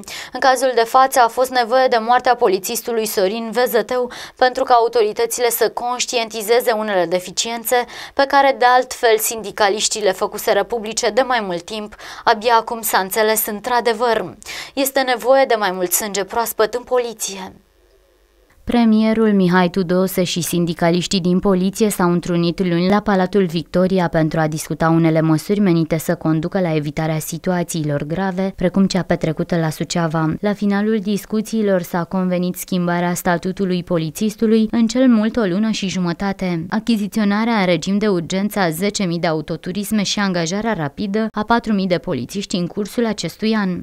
Am discutat despre elevii care au terminat și absolvit un an de zile de școală militară de la Câmpina, Cluj și unde mai avem școli de poliție. Să reușim să încadrăm anul acesta. Eu spun că un copil care a făcut un an de zile școală militară e mai bun, mai pregătit decât să ia unul de pe stradă să-l îmbrac pur și simplu în uniformă. Și aici trebuie să găsim mai mulți oameni în stradă, dar e problemă veche. Găsim puțin polițiști în stradă, mulți în birouri, a declarat Iulian Surugiu, liderul sindicatului agențiilor de poliție.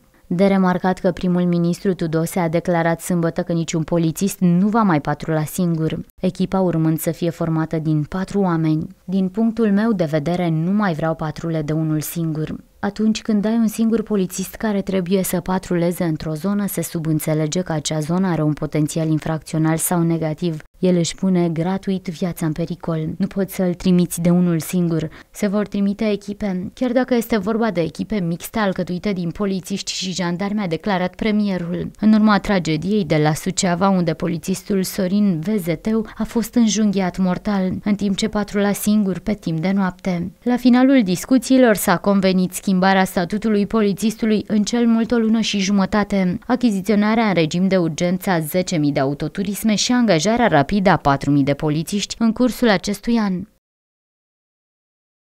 În perioada 27-30 iulie la Cernavodă se va desfășura Festivalul Dunării.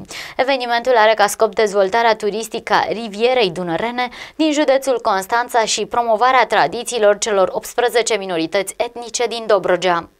Evenimentul își propune să reunească timp de patru zile în luna iulie turoperatorii internaționali și din România, specializați pe incoming, jurnaliști români și străini, operatori de croaziere dunărene, reprezentanții ai unor organizații internaționale și directori ai birourilor de turism ale României din străinătate. Acțiunea din 28-30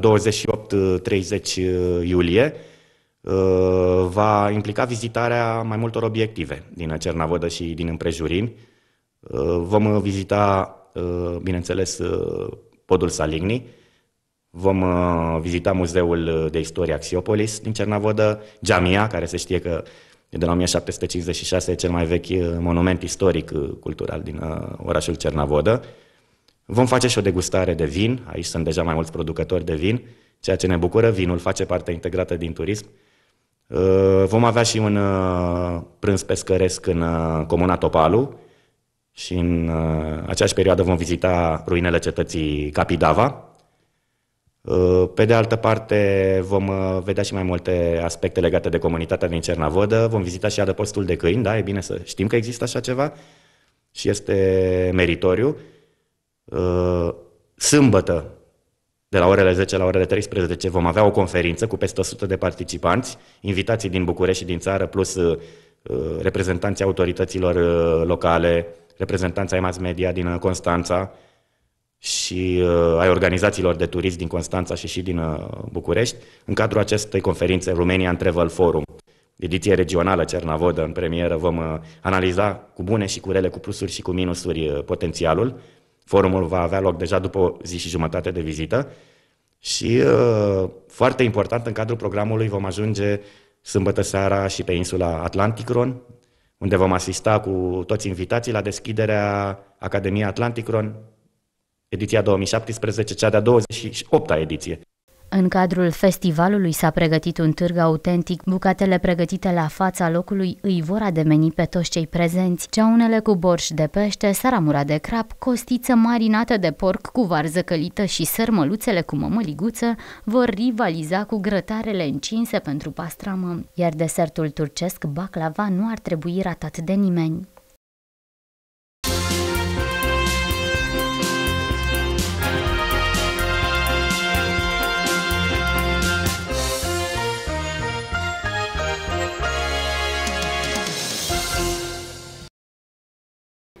Un teribil accident rutier s-a petrecut în această dimineață pe drumul care leagă Ciocârlia de Murfatlar. Gabriel Ban, supranumit tanchistul în vârstă de 32 de ani, a condus un autoturism pe drumul județean 381 dinspre localitatea Ciocârlia de Sus către A2. Acesta a pierdut controlul direcției de mers, a părăsit partea carosabilă spre dreapta și a intrat în coliziune frontală cu un parapet de beton. Leziunile suferite au fost incompatibile cu viața viața.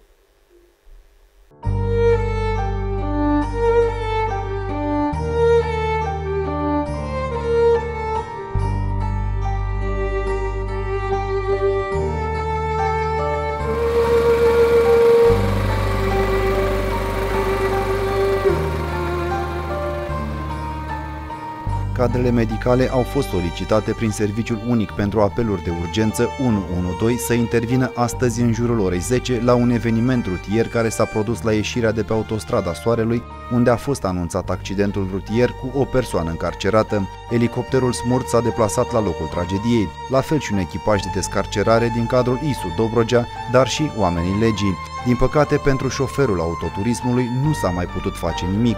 Impactul a fost unul foarte puternic, mașina devenind doar un morman de fiare. În această dimineață, în jur de ora 9.45, pompierii au fost solicitați uh, să intervină la un accident rutier produs în apropiere de localitatea Ciocârlia din uh, județul Constanța. Uh, la s-au plasat o auto specială de descarcerare, dar și un elicopter smurg. Din păcate, persoana Uh, e vorba de un bărbat de aproximativ 32 de ani, uh, decedat, a fost scos uh, din autoturismul răsturnat de către echipajele de descarcerare. Oamenii legii au stabilit cum s-a petrecut accidentul în care a murit militarul Gabriel Ban. Bărbatul în vârstă de 32 de ani era singur în mașina cu care circula dinspre localitatea Ciocârlia de Sus spre autostrada Soarelui. Polițiștii au fost sesizați bărbat în vârstă de 32 de ani, care se afla singur în auto, a condus dinspre localitatea Cetăția de Sud către autostrada A2, iar din cauzele atenției în conducere a pierdut controlul direcției de deplasare, a părăsit partea carosabilă și a intrat în coliziune frontală cu un parapet de beton. Din nefericire, accidentului a rezultat decesul bărbatului la fața locului, în caz, colegii de la rutier au deschis un dosar de cercetare penală, iar la finalul anchetei vor fi deschise măsurile legale care se Gabriel Ban era sergent major la regimentul 53 rachete antiaeriene Trofeum Traiani din Megidia, având specialitatea militară, comandant și mecanic conductor tancuri și autotunuri. Venit din județul Bacău, Gabriel Ban locuia de câțiva ani la Megidia unde fusese repartizat după ce a absolvit în 2011 școala de subofițeri de la Pitești. Un militar din cadrul regimentului 53 rachete antiaeriene a decedat uh, și ne, suntem uh, profund îndurerați noi, militarii regimentului, dar și comanda regimentului pentru acest uh, nefericit eveniment. Ce fel de coleg era? Sergentul major Ban Gabriel a fost încadrat în armată, în rândurile armatei, în anul 2005. La noi unitate este din anul 2010.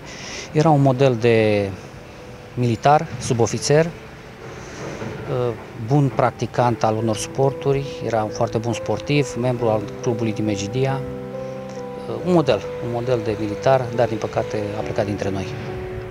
Avea rude? Sergentul major Ban Gabriel, din păcate, a avut o viață mai tristă, cred eu. Mama decedată, tatăl nu, nu l-a cunoscut, are doi frați, un frate preot catolic care se află în Italia și sora este undeva într-o comună din, Braș, din Bacău. Încercăm să, să o contactăm cu ajutorul poliției.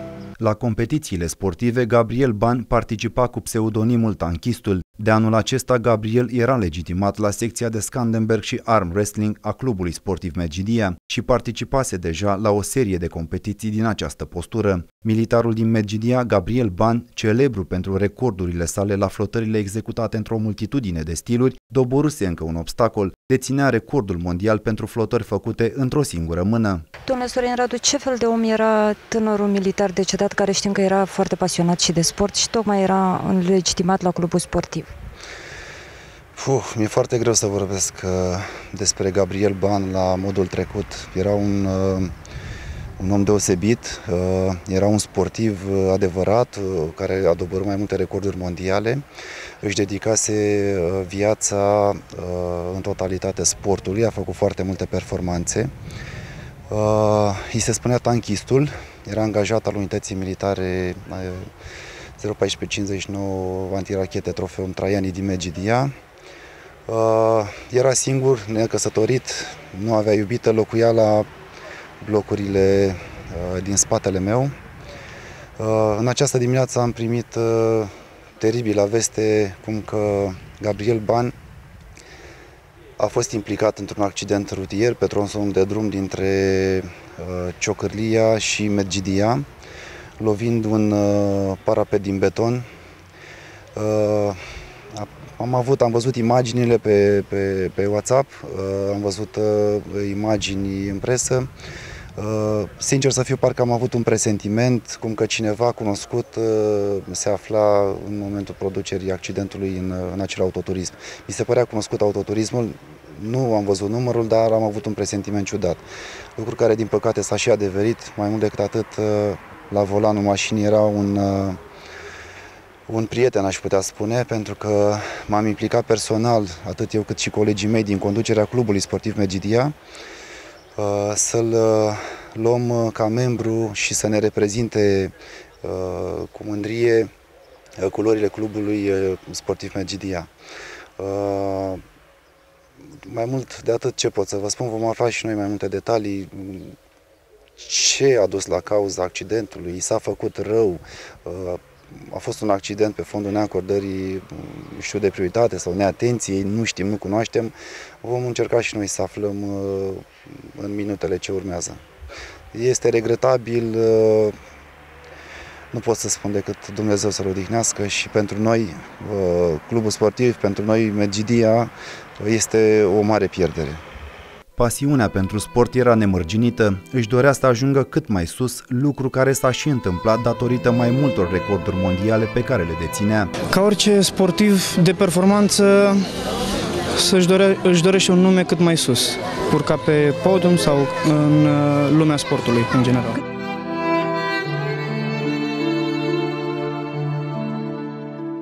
Pe 4 iunie, Gabriel Ban posta pe o cunoscută rețea de socializare faptul că și-a achiziționat o mașină nouă și le transmitea prietenilor următorul mesaj Keep calm and drive safely.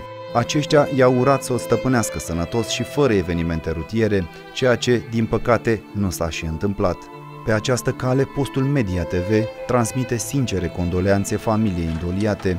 Dumnezeu să te odihnească în liniște și pace, tanchistule!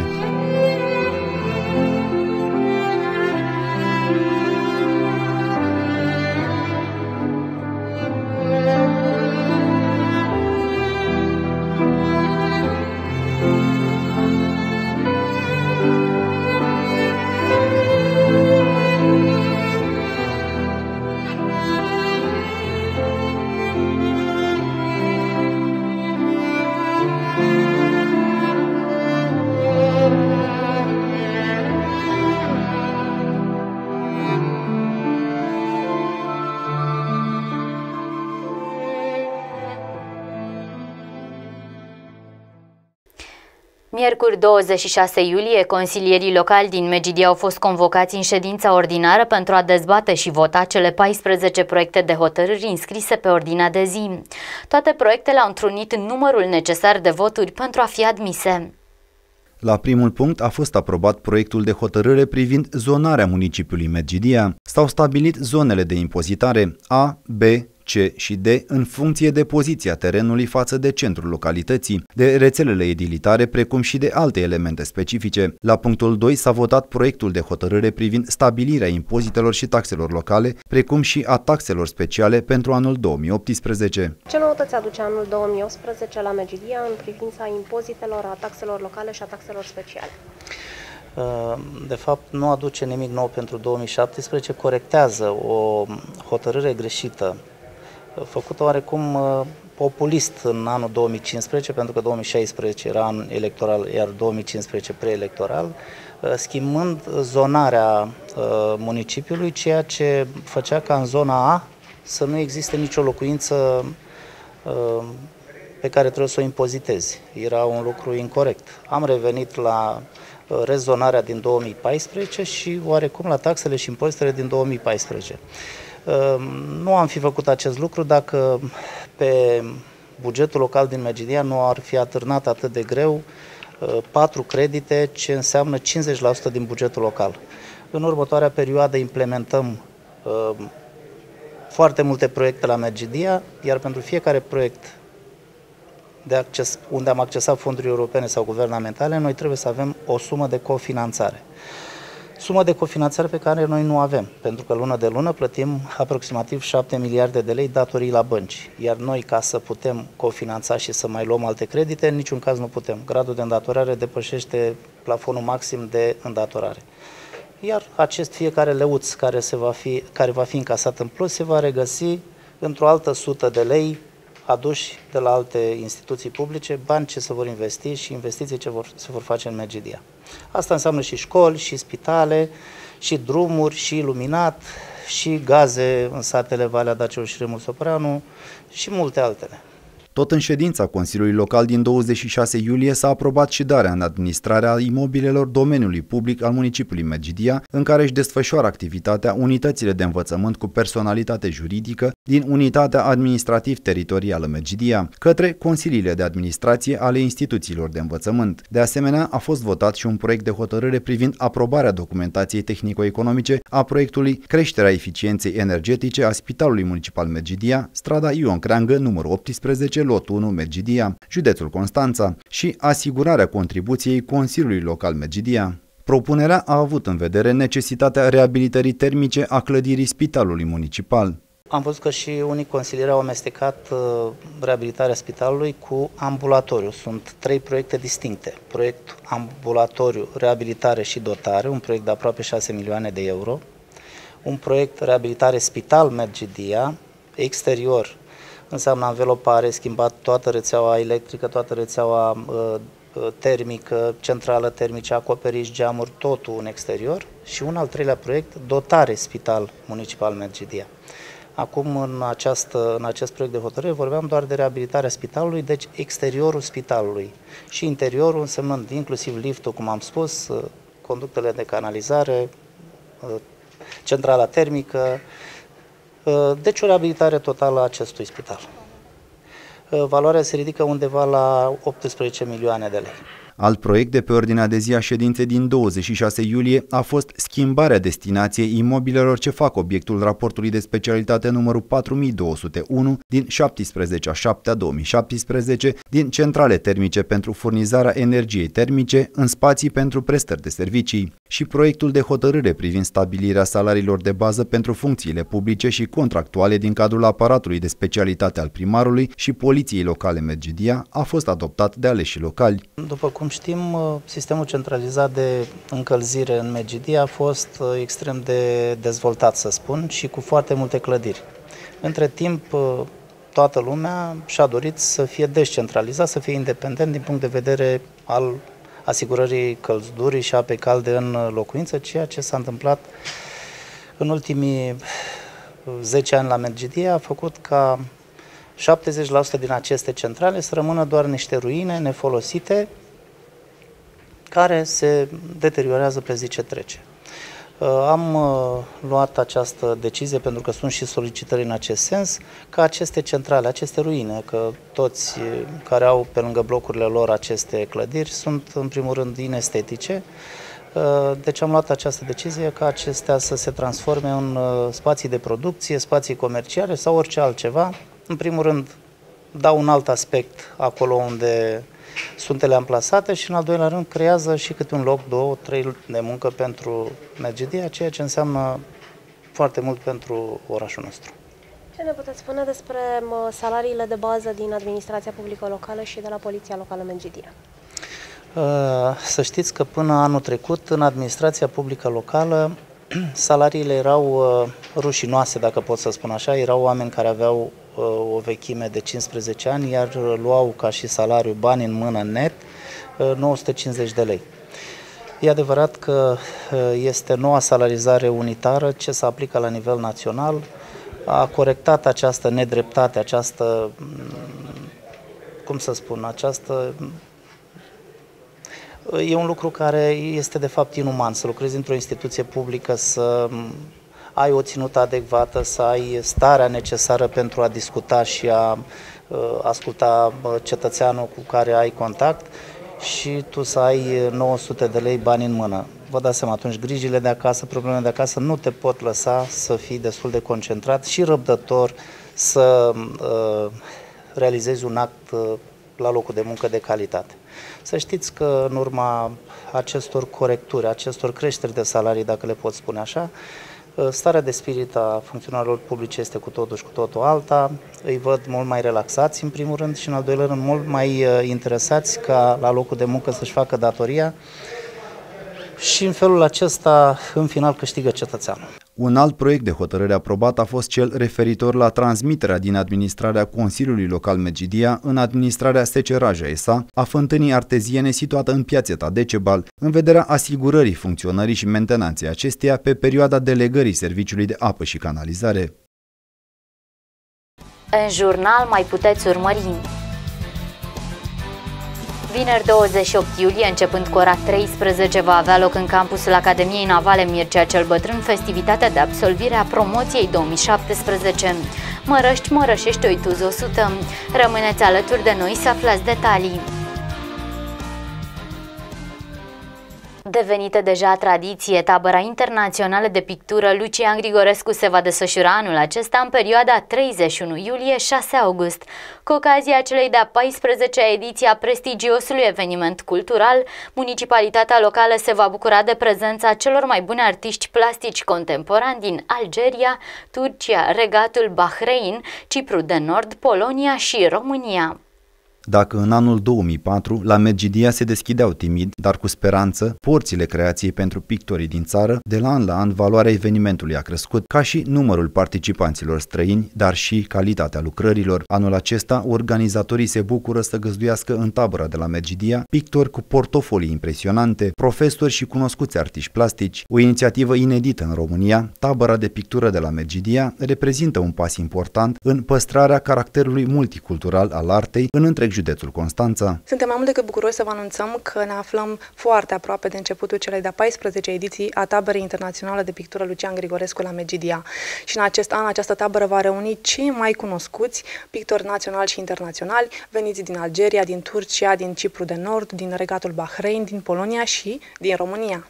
Evenimentul va debuta cu o conferință de presă care se va ține marți la ora 15. Vă așteptăm cu toții să-i cunoașteți pe faimoși artiști uh, și uh, să ne prezentăm, de ce nu, orașul. După o întreagă săptămână de creație pentru renumiții pictori, uh, întregul eveniment va culmina cu vernisajul care va avea loc pe data de 5 august la Casa de Cultură a Sindicatelor Lucian Grigorescu. De-a lungul edițiilor, artiștii plastici invitați la eveniment au avut posibilitatea de a-și pune amprenta asupra colecției de artă a municipiului Medgidia prin lucrări marcate de originalitate, multiculturalitate și frumusețea peisajelor din România. Iubitorii de artă au posibilitatea de a participa alături de pictorii de renume internațional la atelierele de creație desfășurate pe toată perioada taberei în incinta hotelului Stadion. În perioada 28 iulie-6 august pe insula Dunăreană Atlanticron, în dreptul castrului roman Capidava, se va desfășura cea de-a 28-a ediție a Academiei de Vară pentru Tineret, Știință, Cultură, Artă și Sport Atlanticron. Numărătoarea inversă a început, iar organizatorii pregătesc o serie de surprize pentru toți cei care vor lua parte la eveniment.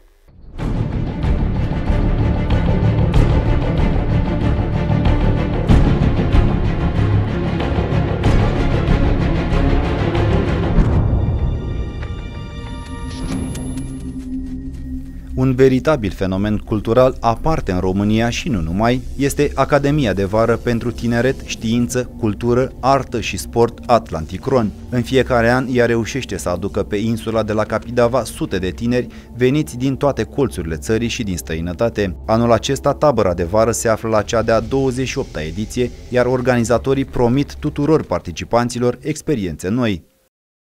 Vom avea invitați de marcă ca de obicei, Printre invitații virtuali se vor număra și uh, astronautul Dumitru Prunariu, care uneori mai și vine, în acest an va fi invitat virtual. Îl vom avea pe profesorul Teodor Vasile, care vine de 15 ani și va ține și cursuri de dezvoltare personală uh, și cursuri de psihologie. Uh, vom avea participanți și invitați din Italia. Vine scriitorul Roberto Qualia, ca de obicei, din Statele Unite, Uh, vom avea atât uh, oameni de știință cât și oameni uh, de cultură. Îmi face plăcere să spun că deschiderea taberei, deschiderea Academiei de Vară Atlanticron coincide și cu un eveniment pe care îl organizăm împreună cu Primăria Cernavodă. Aducem 30 de jurnaliști, blogări și agenți de turism care vor promova regiunea Cernavodei și riviera Dunăreana județului Constanța iar acești invitați uh, vor ajunge pe insulă șase ore și vor asista și la deschiderea uh, oficială. Deci uh, Atlantic Ron va fi extrem de mediatizat și în acest an. Bineînțeles, evenimentul va fi deschis tuturor reprezentanților mass media din județul Constanța, pe care îi așteptăm ca de obicei cu mare drag. Se întâmplă să vină și jurnaliști din București, măcar pentru o zi, două, să vadă ce este la fața locului. Deja a devenit un fenomen cunoscut și unic, chiar dacă Uh, nu este un festival, să spunem, deschis uh, tuturor, pentru că e foarte greu. Se face o selecție, nu în cap mai mult de 500 de oameni pe acea insulă. Purtând genericul Insula Viitorului, Atlanticron este singurul eveniment de acest gen din România, cu o tradiție de 28 de ani și potrivit multor invitați speciali din străinătate, un eveniment de profil unic în lume.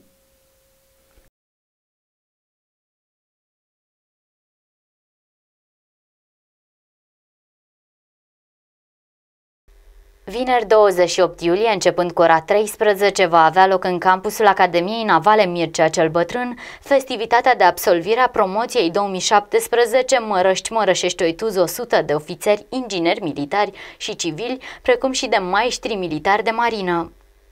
Ceremonia de absolvire a promoției 2017 Mărăști, Mărășești, Oituz 100 va marca pentru cei 206 absolvenți, dintre care 177 civili, finalizarea studiilor în cele două instituții de învățământ de marină. În prezența viceamiralului dr. Alexandru Mărșu, șeful statului major al forțelor navale, 29 de absolvenți militari ai Academiei Navale Mircea cel Bătrân și 53 de absolvenți ai Școlii Militare de Maestri Militari a Forțelor Navale vor primi primele lor grade de ofițeri, respectiv respectiv maestri militari de marină în forțele navale. Ofițerii militari vor începe în perioada următoare cursul de bază pentru prima funcție în cadrul forțelor navale române, la școala de aplicație a forțelor navale viceamiral Constantin Bălescu. La acest important eveniment sunt invitați reprezentanței președinției, Ministerului Apărării Naționale, ai autorităților publice centrale și locale, personalități ale vieții publice și universitare constanțene, reprezentanți ai instituțiilor care își desfășoară activitatea în domeniul transportului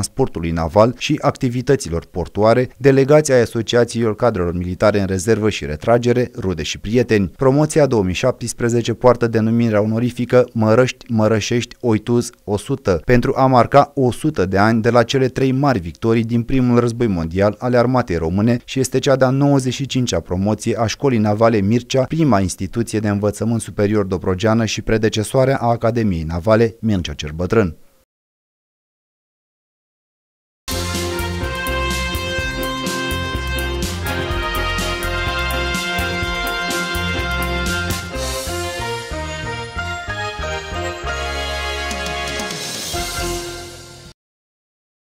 Un grav accident rutier soldat cu moartea unui polițist s-a produs miercuri seara în jurul orei 24 la ieșirea din localitatea 2 mai. Agentul șef principal, Ioan Colinel Hrisu, se afla în mașina de serviciu, împreună cu un jandarm de la gruparea mobilă Tomis. Ambii intraseră în tură la ora 20 și se aflau în misiune de patrulare în echipaj mixt. Colegul nostru, Crisu Ioan, a condus o auto specială pe un drum uh, secundar din 2 uh, mai, a pătruns în uh, drumul național 39, moment în care a fost acroșat de un alt autovehicul care circula pe drumul național.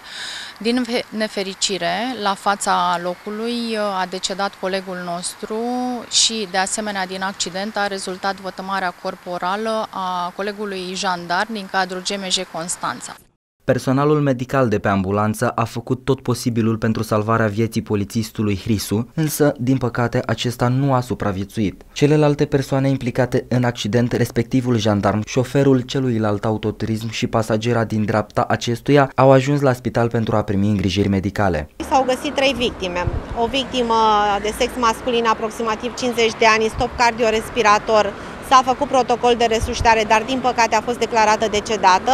Un pacient de sex masculin cu traumatism toracic stabil transportat spital județean și al treilea pacient, tot de sex masculin, cu traumatism de membru inferior, transportat la spitalul județean. Oamenii legii au deschis o anchetă pentru a stabili cu exactitate cauzele producerii accidentului. Polițiștii constanțeni au deschis un dosar de cercetare penală, iar la finalul anchetei vor fi dispuse măsurile legale care se impun. Aș dori pe această cale să transmit uh, condolențe familiei îndurerate și Dumnezeu să-l odihnească în pace. În urma tragicului accident, oficialii poliției române au publicat un mesaj de condoleanță. O zi tristă pentru noi, am mai pierdut un coleg. Agent șef principal Ioan Colinel Hrisu, aflat în timpul serviciului, a decedat în această noapte în urma unui accident rutier. Polițistul se afla în auto speciala de serviciu alături de un coleg jandarm, rănit și el în urma impactului, iar la ieșirea de pe un drum lateral au fost loviți din spate de un alt autoturism. Suntem alături de familia îndoliată, căreia îi transmitem sincere condoleanțe, au transmis reprezentanții poliției române. Agent șef principal de poliție Ioan Colonel Hrisu, în vârstă de 53 de ani, era căsătorit și avea trei copii. El era din Vaslui și a fost detașat pe litoral pe perioada sezonului estival la biroul de poliție Vama Veche.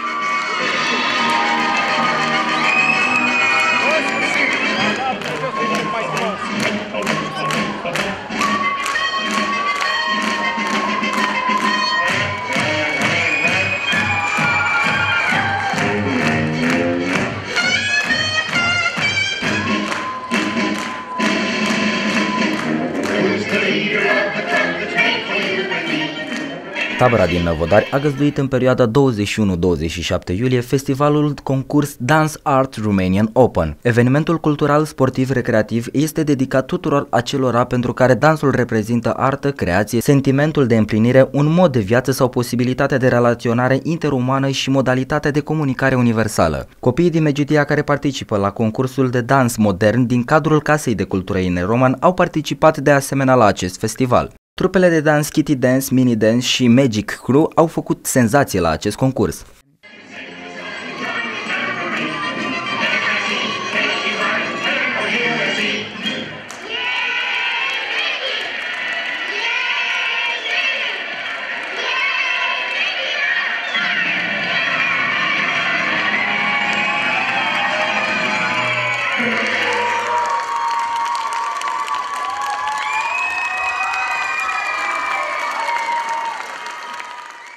Este rodul muncii copiilor uh, uh, din clubul de dans uh, de aici, din Casa de Cultură din Roman, unde se muncește în sală, chiar dacă este vacanță. Instructorii, coregrafii încearcă să facă ca munca copiilor să ajungă în fața jurului și să se bată în concurs, cum spuneam, cu alte trupe importante.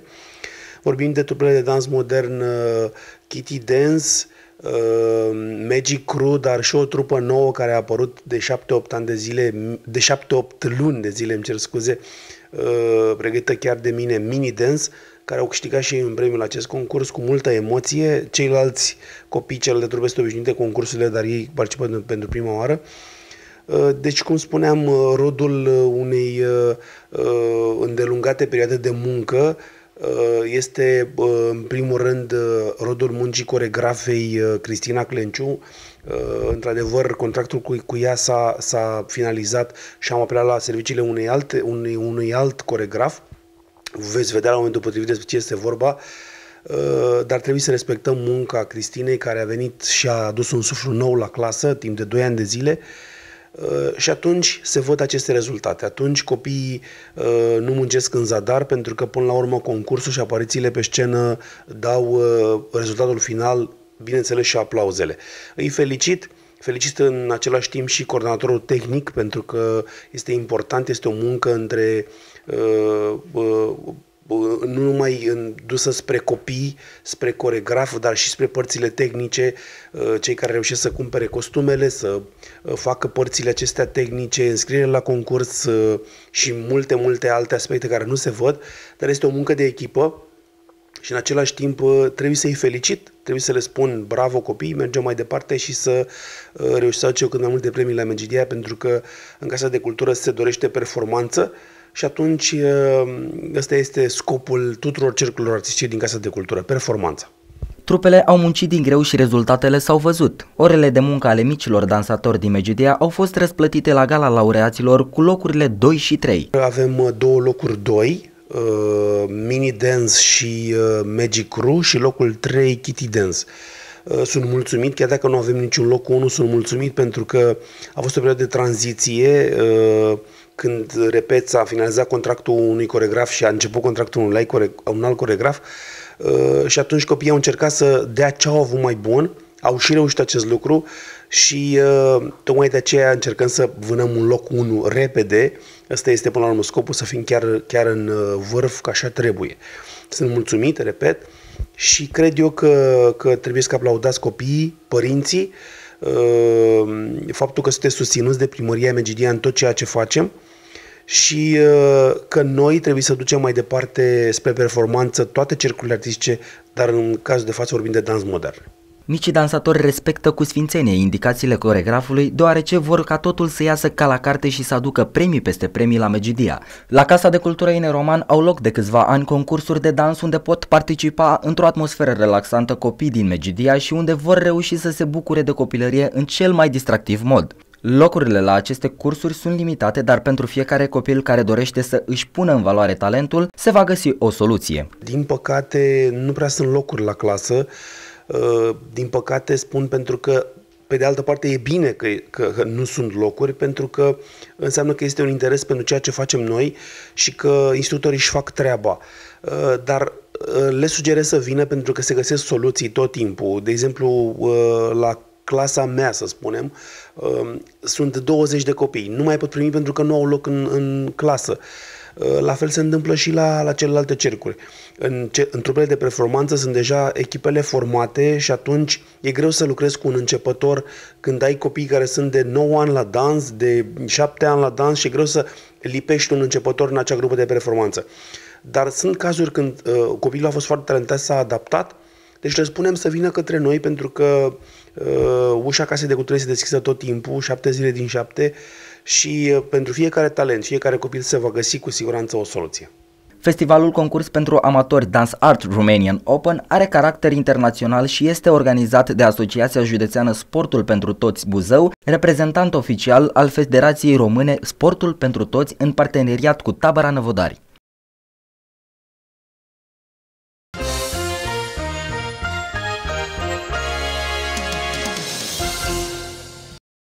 Luni 31 iulie, începând cu ora 17 la primăria Megidia, va avea loc o ședință extraordinară a Consiliului Local Municipal, în care vor fi dezbătute două proiecte de hotărâri inițiate de primarul Valentin Vrabie, rectificarea bugetului de venituri și cheltuieli al Spitalului Municipal Megidia pe anul 2017 delegarea gestiunii de concesiune a serviciului de iluminat public în municipiul Megidia, județul Constanța.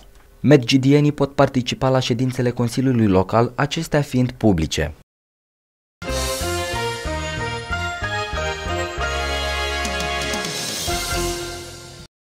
Tradiția a fost păstrată și în acest an. Sute de credincioși au participat la procesiune alături de armată și preoți în frunte cu un alt preasfințitul Teodosie, arhiepiscopul Tomisului. S-au făcut popasuri pe la toate spitalele, dar și la alte instituții de apărare și s-au spus rugăciuni pentru cei bolnavi și pentru cei care zi și noapte ocrotesc și apără cetățenii acestei țări. Joi dimineața, la Catedrala Arhiepiscopală din Constanța, Sfânta Liturghie a fost oficiată de ierarhul Tomisului în altarul de vară al Sfântului Lăcaș. La rugăciune au participat mulți credincioși constanțeni, dar și turiști aflați în aceste zile la malul mării.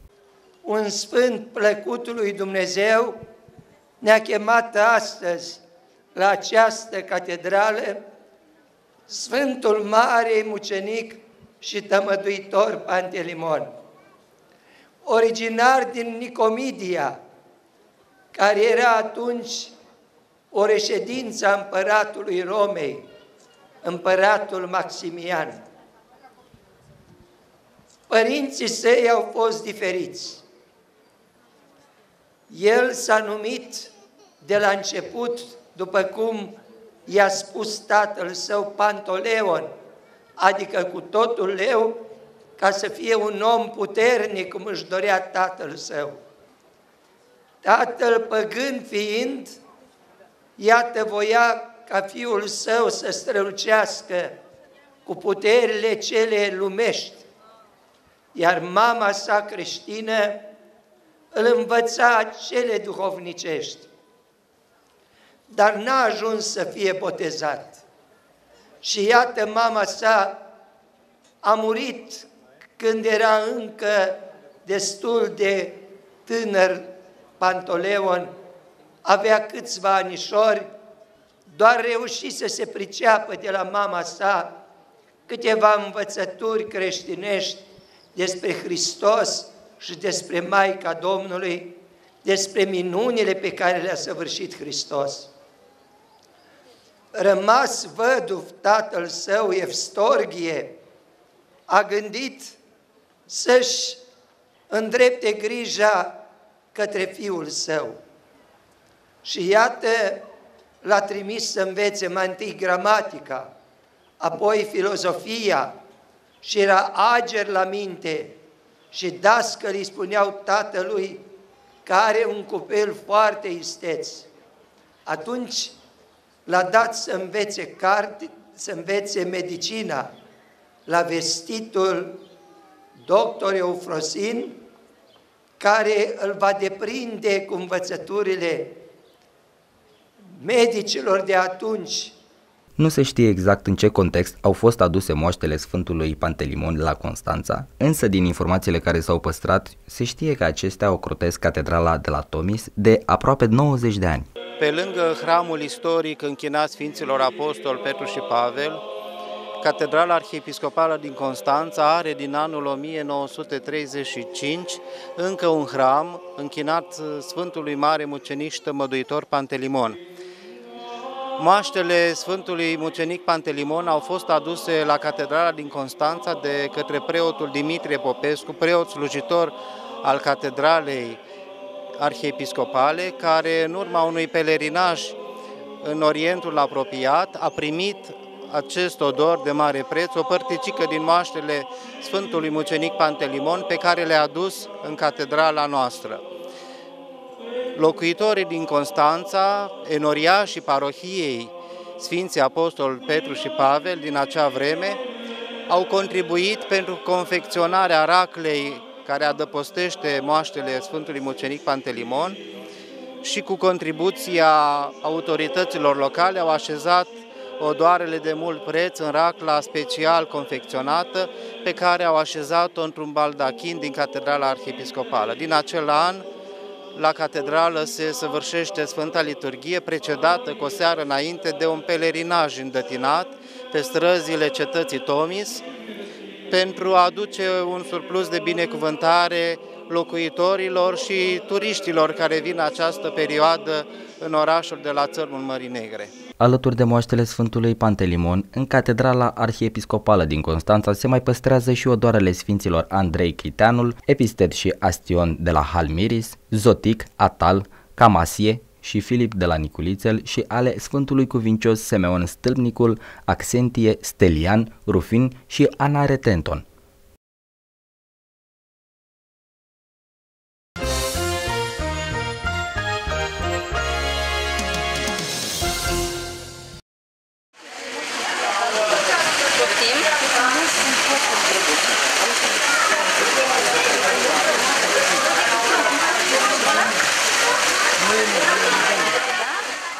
Iazul cu pești de la Delfinariu a devenit locul în care dorințele se pot îndeplini sau cel puțin așa cred turiștii superstițioși. Aceștia aruncă în bazin monede considerând că astfel vor avea noroc. Deși angajații complexului au făcut nenumeroase apeluri în acest sens, prin montarea numeroaselor plăcuțe de avertizment și informare, vizitatorii continuă tradiția, ba chiar au furat și panoul informativ. Nu e o religie, dar tot o poveste medievală cu iz religios aruncăm bani ca să se doarcă mai mulți. Are o sursă religioasă. Însă mânțăm cu bani în anumite locuri norocoase. Trebuie să dispară. Pentru secolul 21 avem telefoane mobile, avem ce naiba mai avem, ne bucurăm de logie și rămânem cu poveștile astea medievale. Reprezentanții delfinarului spun că monedele aruncate în iaz eliberează ioni negativi foarte periculoși pentru vietățile din bazin. Uitați-vă ce se întâmplă cu bani ruginesc. Monedele noastre sunt de oțel, însă la suprafață există un aliaj de cupru, alamă, care este tot cupru, nichel, aluminiu, toate astea eliberează ioni în apă, ioni care intoxică peștii. În momentul în care ruginește, înseamnă că ionii sunt eliberați. După curățarea zonei afectate, informarea și avertizarea în rândul vizitatorilor va continua în speranța că aceștia își vor căuta norocul și în altă parte.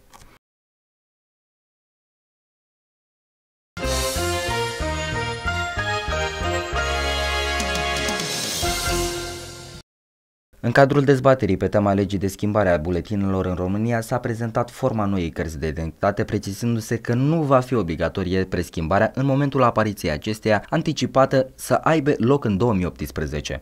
Noua variantă simplă ar avea în plus data nașterii și semnătura olografă pentru că mulți români din străinătate au cerut acest lucru. Cartea de identitate electronică va avea două categorii, cu chip și cu amprentă sau doar cu chip. De asemenea, ea va avea un PIN, iar chipul va putea fi conectat la baza de date a evidenței populației sau a casei de sănătate și va înlocui cardurile de sănătate pe măsură ce acestea expiră. În plus, cei care sunt interesați îi pot atașa o semnătură autorizată pentru a încheia contracte la distanță sau consulta informații de la evidența populației, registrul comerțului sau casa de sănătate, așa cum fac deja avocații sau notarii. Cartea electronică de identitate va conține un chip care permite accesarea serviciilor electronice prin utilizarea certificatului electronic emis de MAI pentru autentificarea în sistemele informatice. Va permite stocarea în condiții de siguranță a datelor biometrice ale titularului, respectiv imaginea facială și opțional imaginele impresiunilor papilare a două degete. De asemenea, va permite utilizarea semnăturii electronice, s-a precizat în cadrul dezbaterii.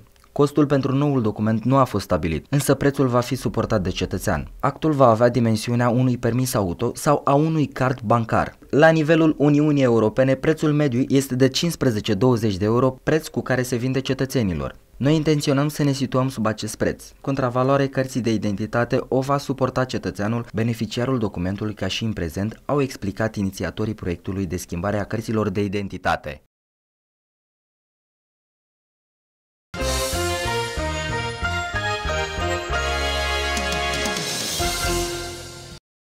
Depresia nu se datorează consumului de substanțe și nici a altor afecțiuni medicale psihiatrice sau generale, dar poate coexista cu acestea. Uneori este foarte evident când cineva este deprimat. Poate părea trist, nu face lucruri care de obicei îi provocau plăcere, se descrie ca simțindu-se neînsemnat și inutil. În cazul altor persoane, depresia poate fi mai puțin evidentă. Cum ne dăm seama că o persoană este depresivă? Uh, ne dăm seama după o persoană că este depresivă că este mai agitată, e mai supărată, Uh, și dacă este o persoană mai apropiată, ar, ar trebui să ne dăm mult mai uh, repede seama, după faptul că se retrage către locația ei, stă singură, uh, după astfel de comportamente ne dăm seama că este depresivă. Cum ar să o persoană să iasă din această stare? Prima dată, după ce ne dăm seama, a trebuit să convingem acea persoană să mergem la un specialist, la un psiholog, sau să aflăm care, este, uh, care sunt motivele care au dus-o către această stare, după care, la cel mai bine specialist.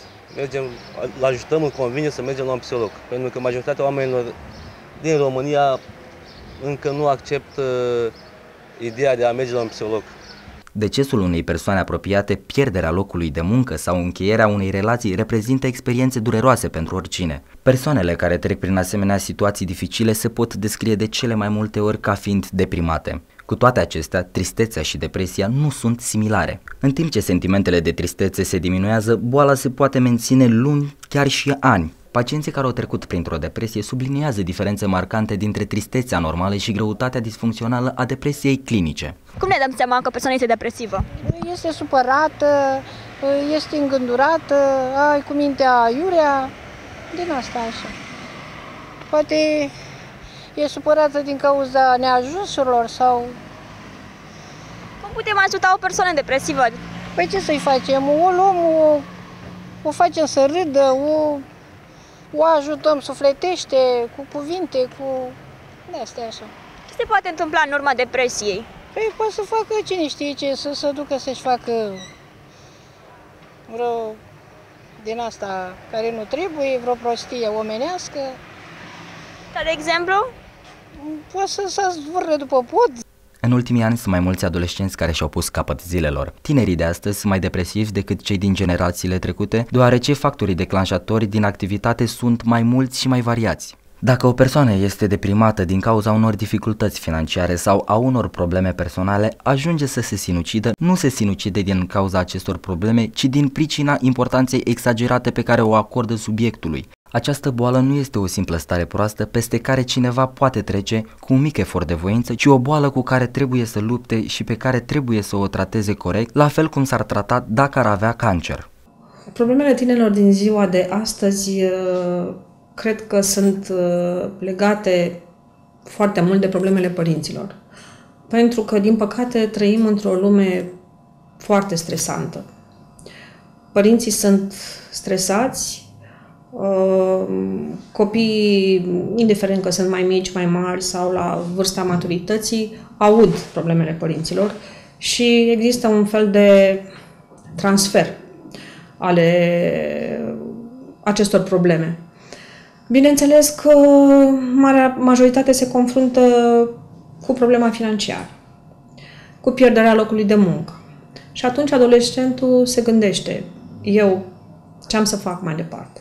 O să reușesc să-mi văd de drumul meu, o să reușesc să îmi îndeplinesc uh, visele legate de studii, poate de studii în țară, de studii în străinătate, cei care poate la un moment dat și-au făcut și un astfel de, de plan.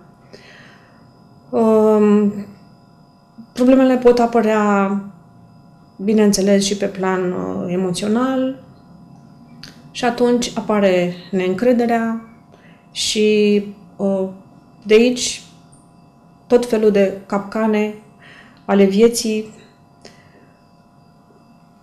Încrederea este foarte, foarte importantă și atunci dacă ei nu o găsesc în mediul lor, în familie, uh, și educația, bineînțeles, că are un rol foarte important, pentru că există și o categorie de părinți care, indiferent de perioada prin care trec, că este o, o perioadă mai grea, o perioadă dificilă, întotdeauna reușesc, într-un fel sau altul, să creeze o, o protecție între ei și copil. Copilul întotdeauna va trebui să știe că lucrurile merg spre bine și, indiferent ce se va întâmpla, copilul nu va fi atins sub nicio formă de problemele lor.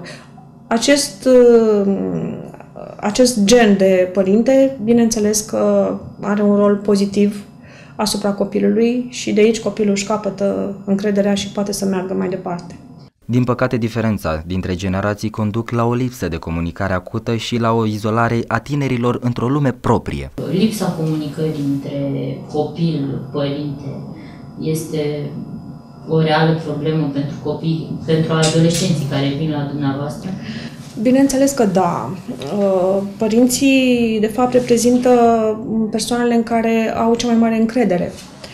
Uh, de asemenea, uh, școala ar trebui să fie o, o sursă de informare formală sau informală la un moment dat. Dar dacă această comunicare nu există, este mai dificil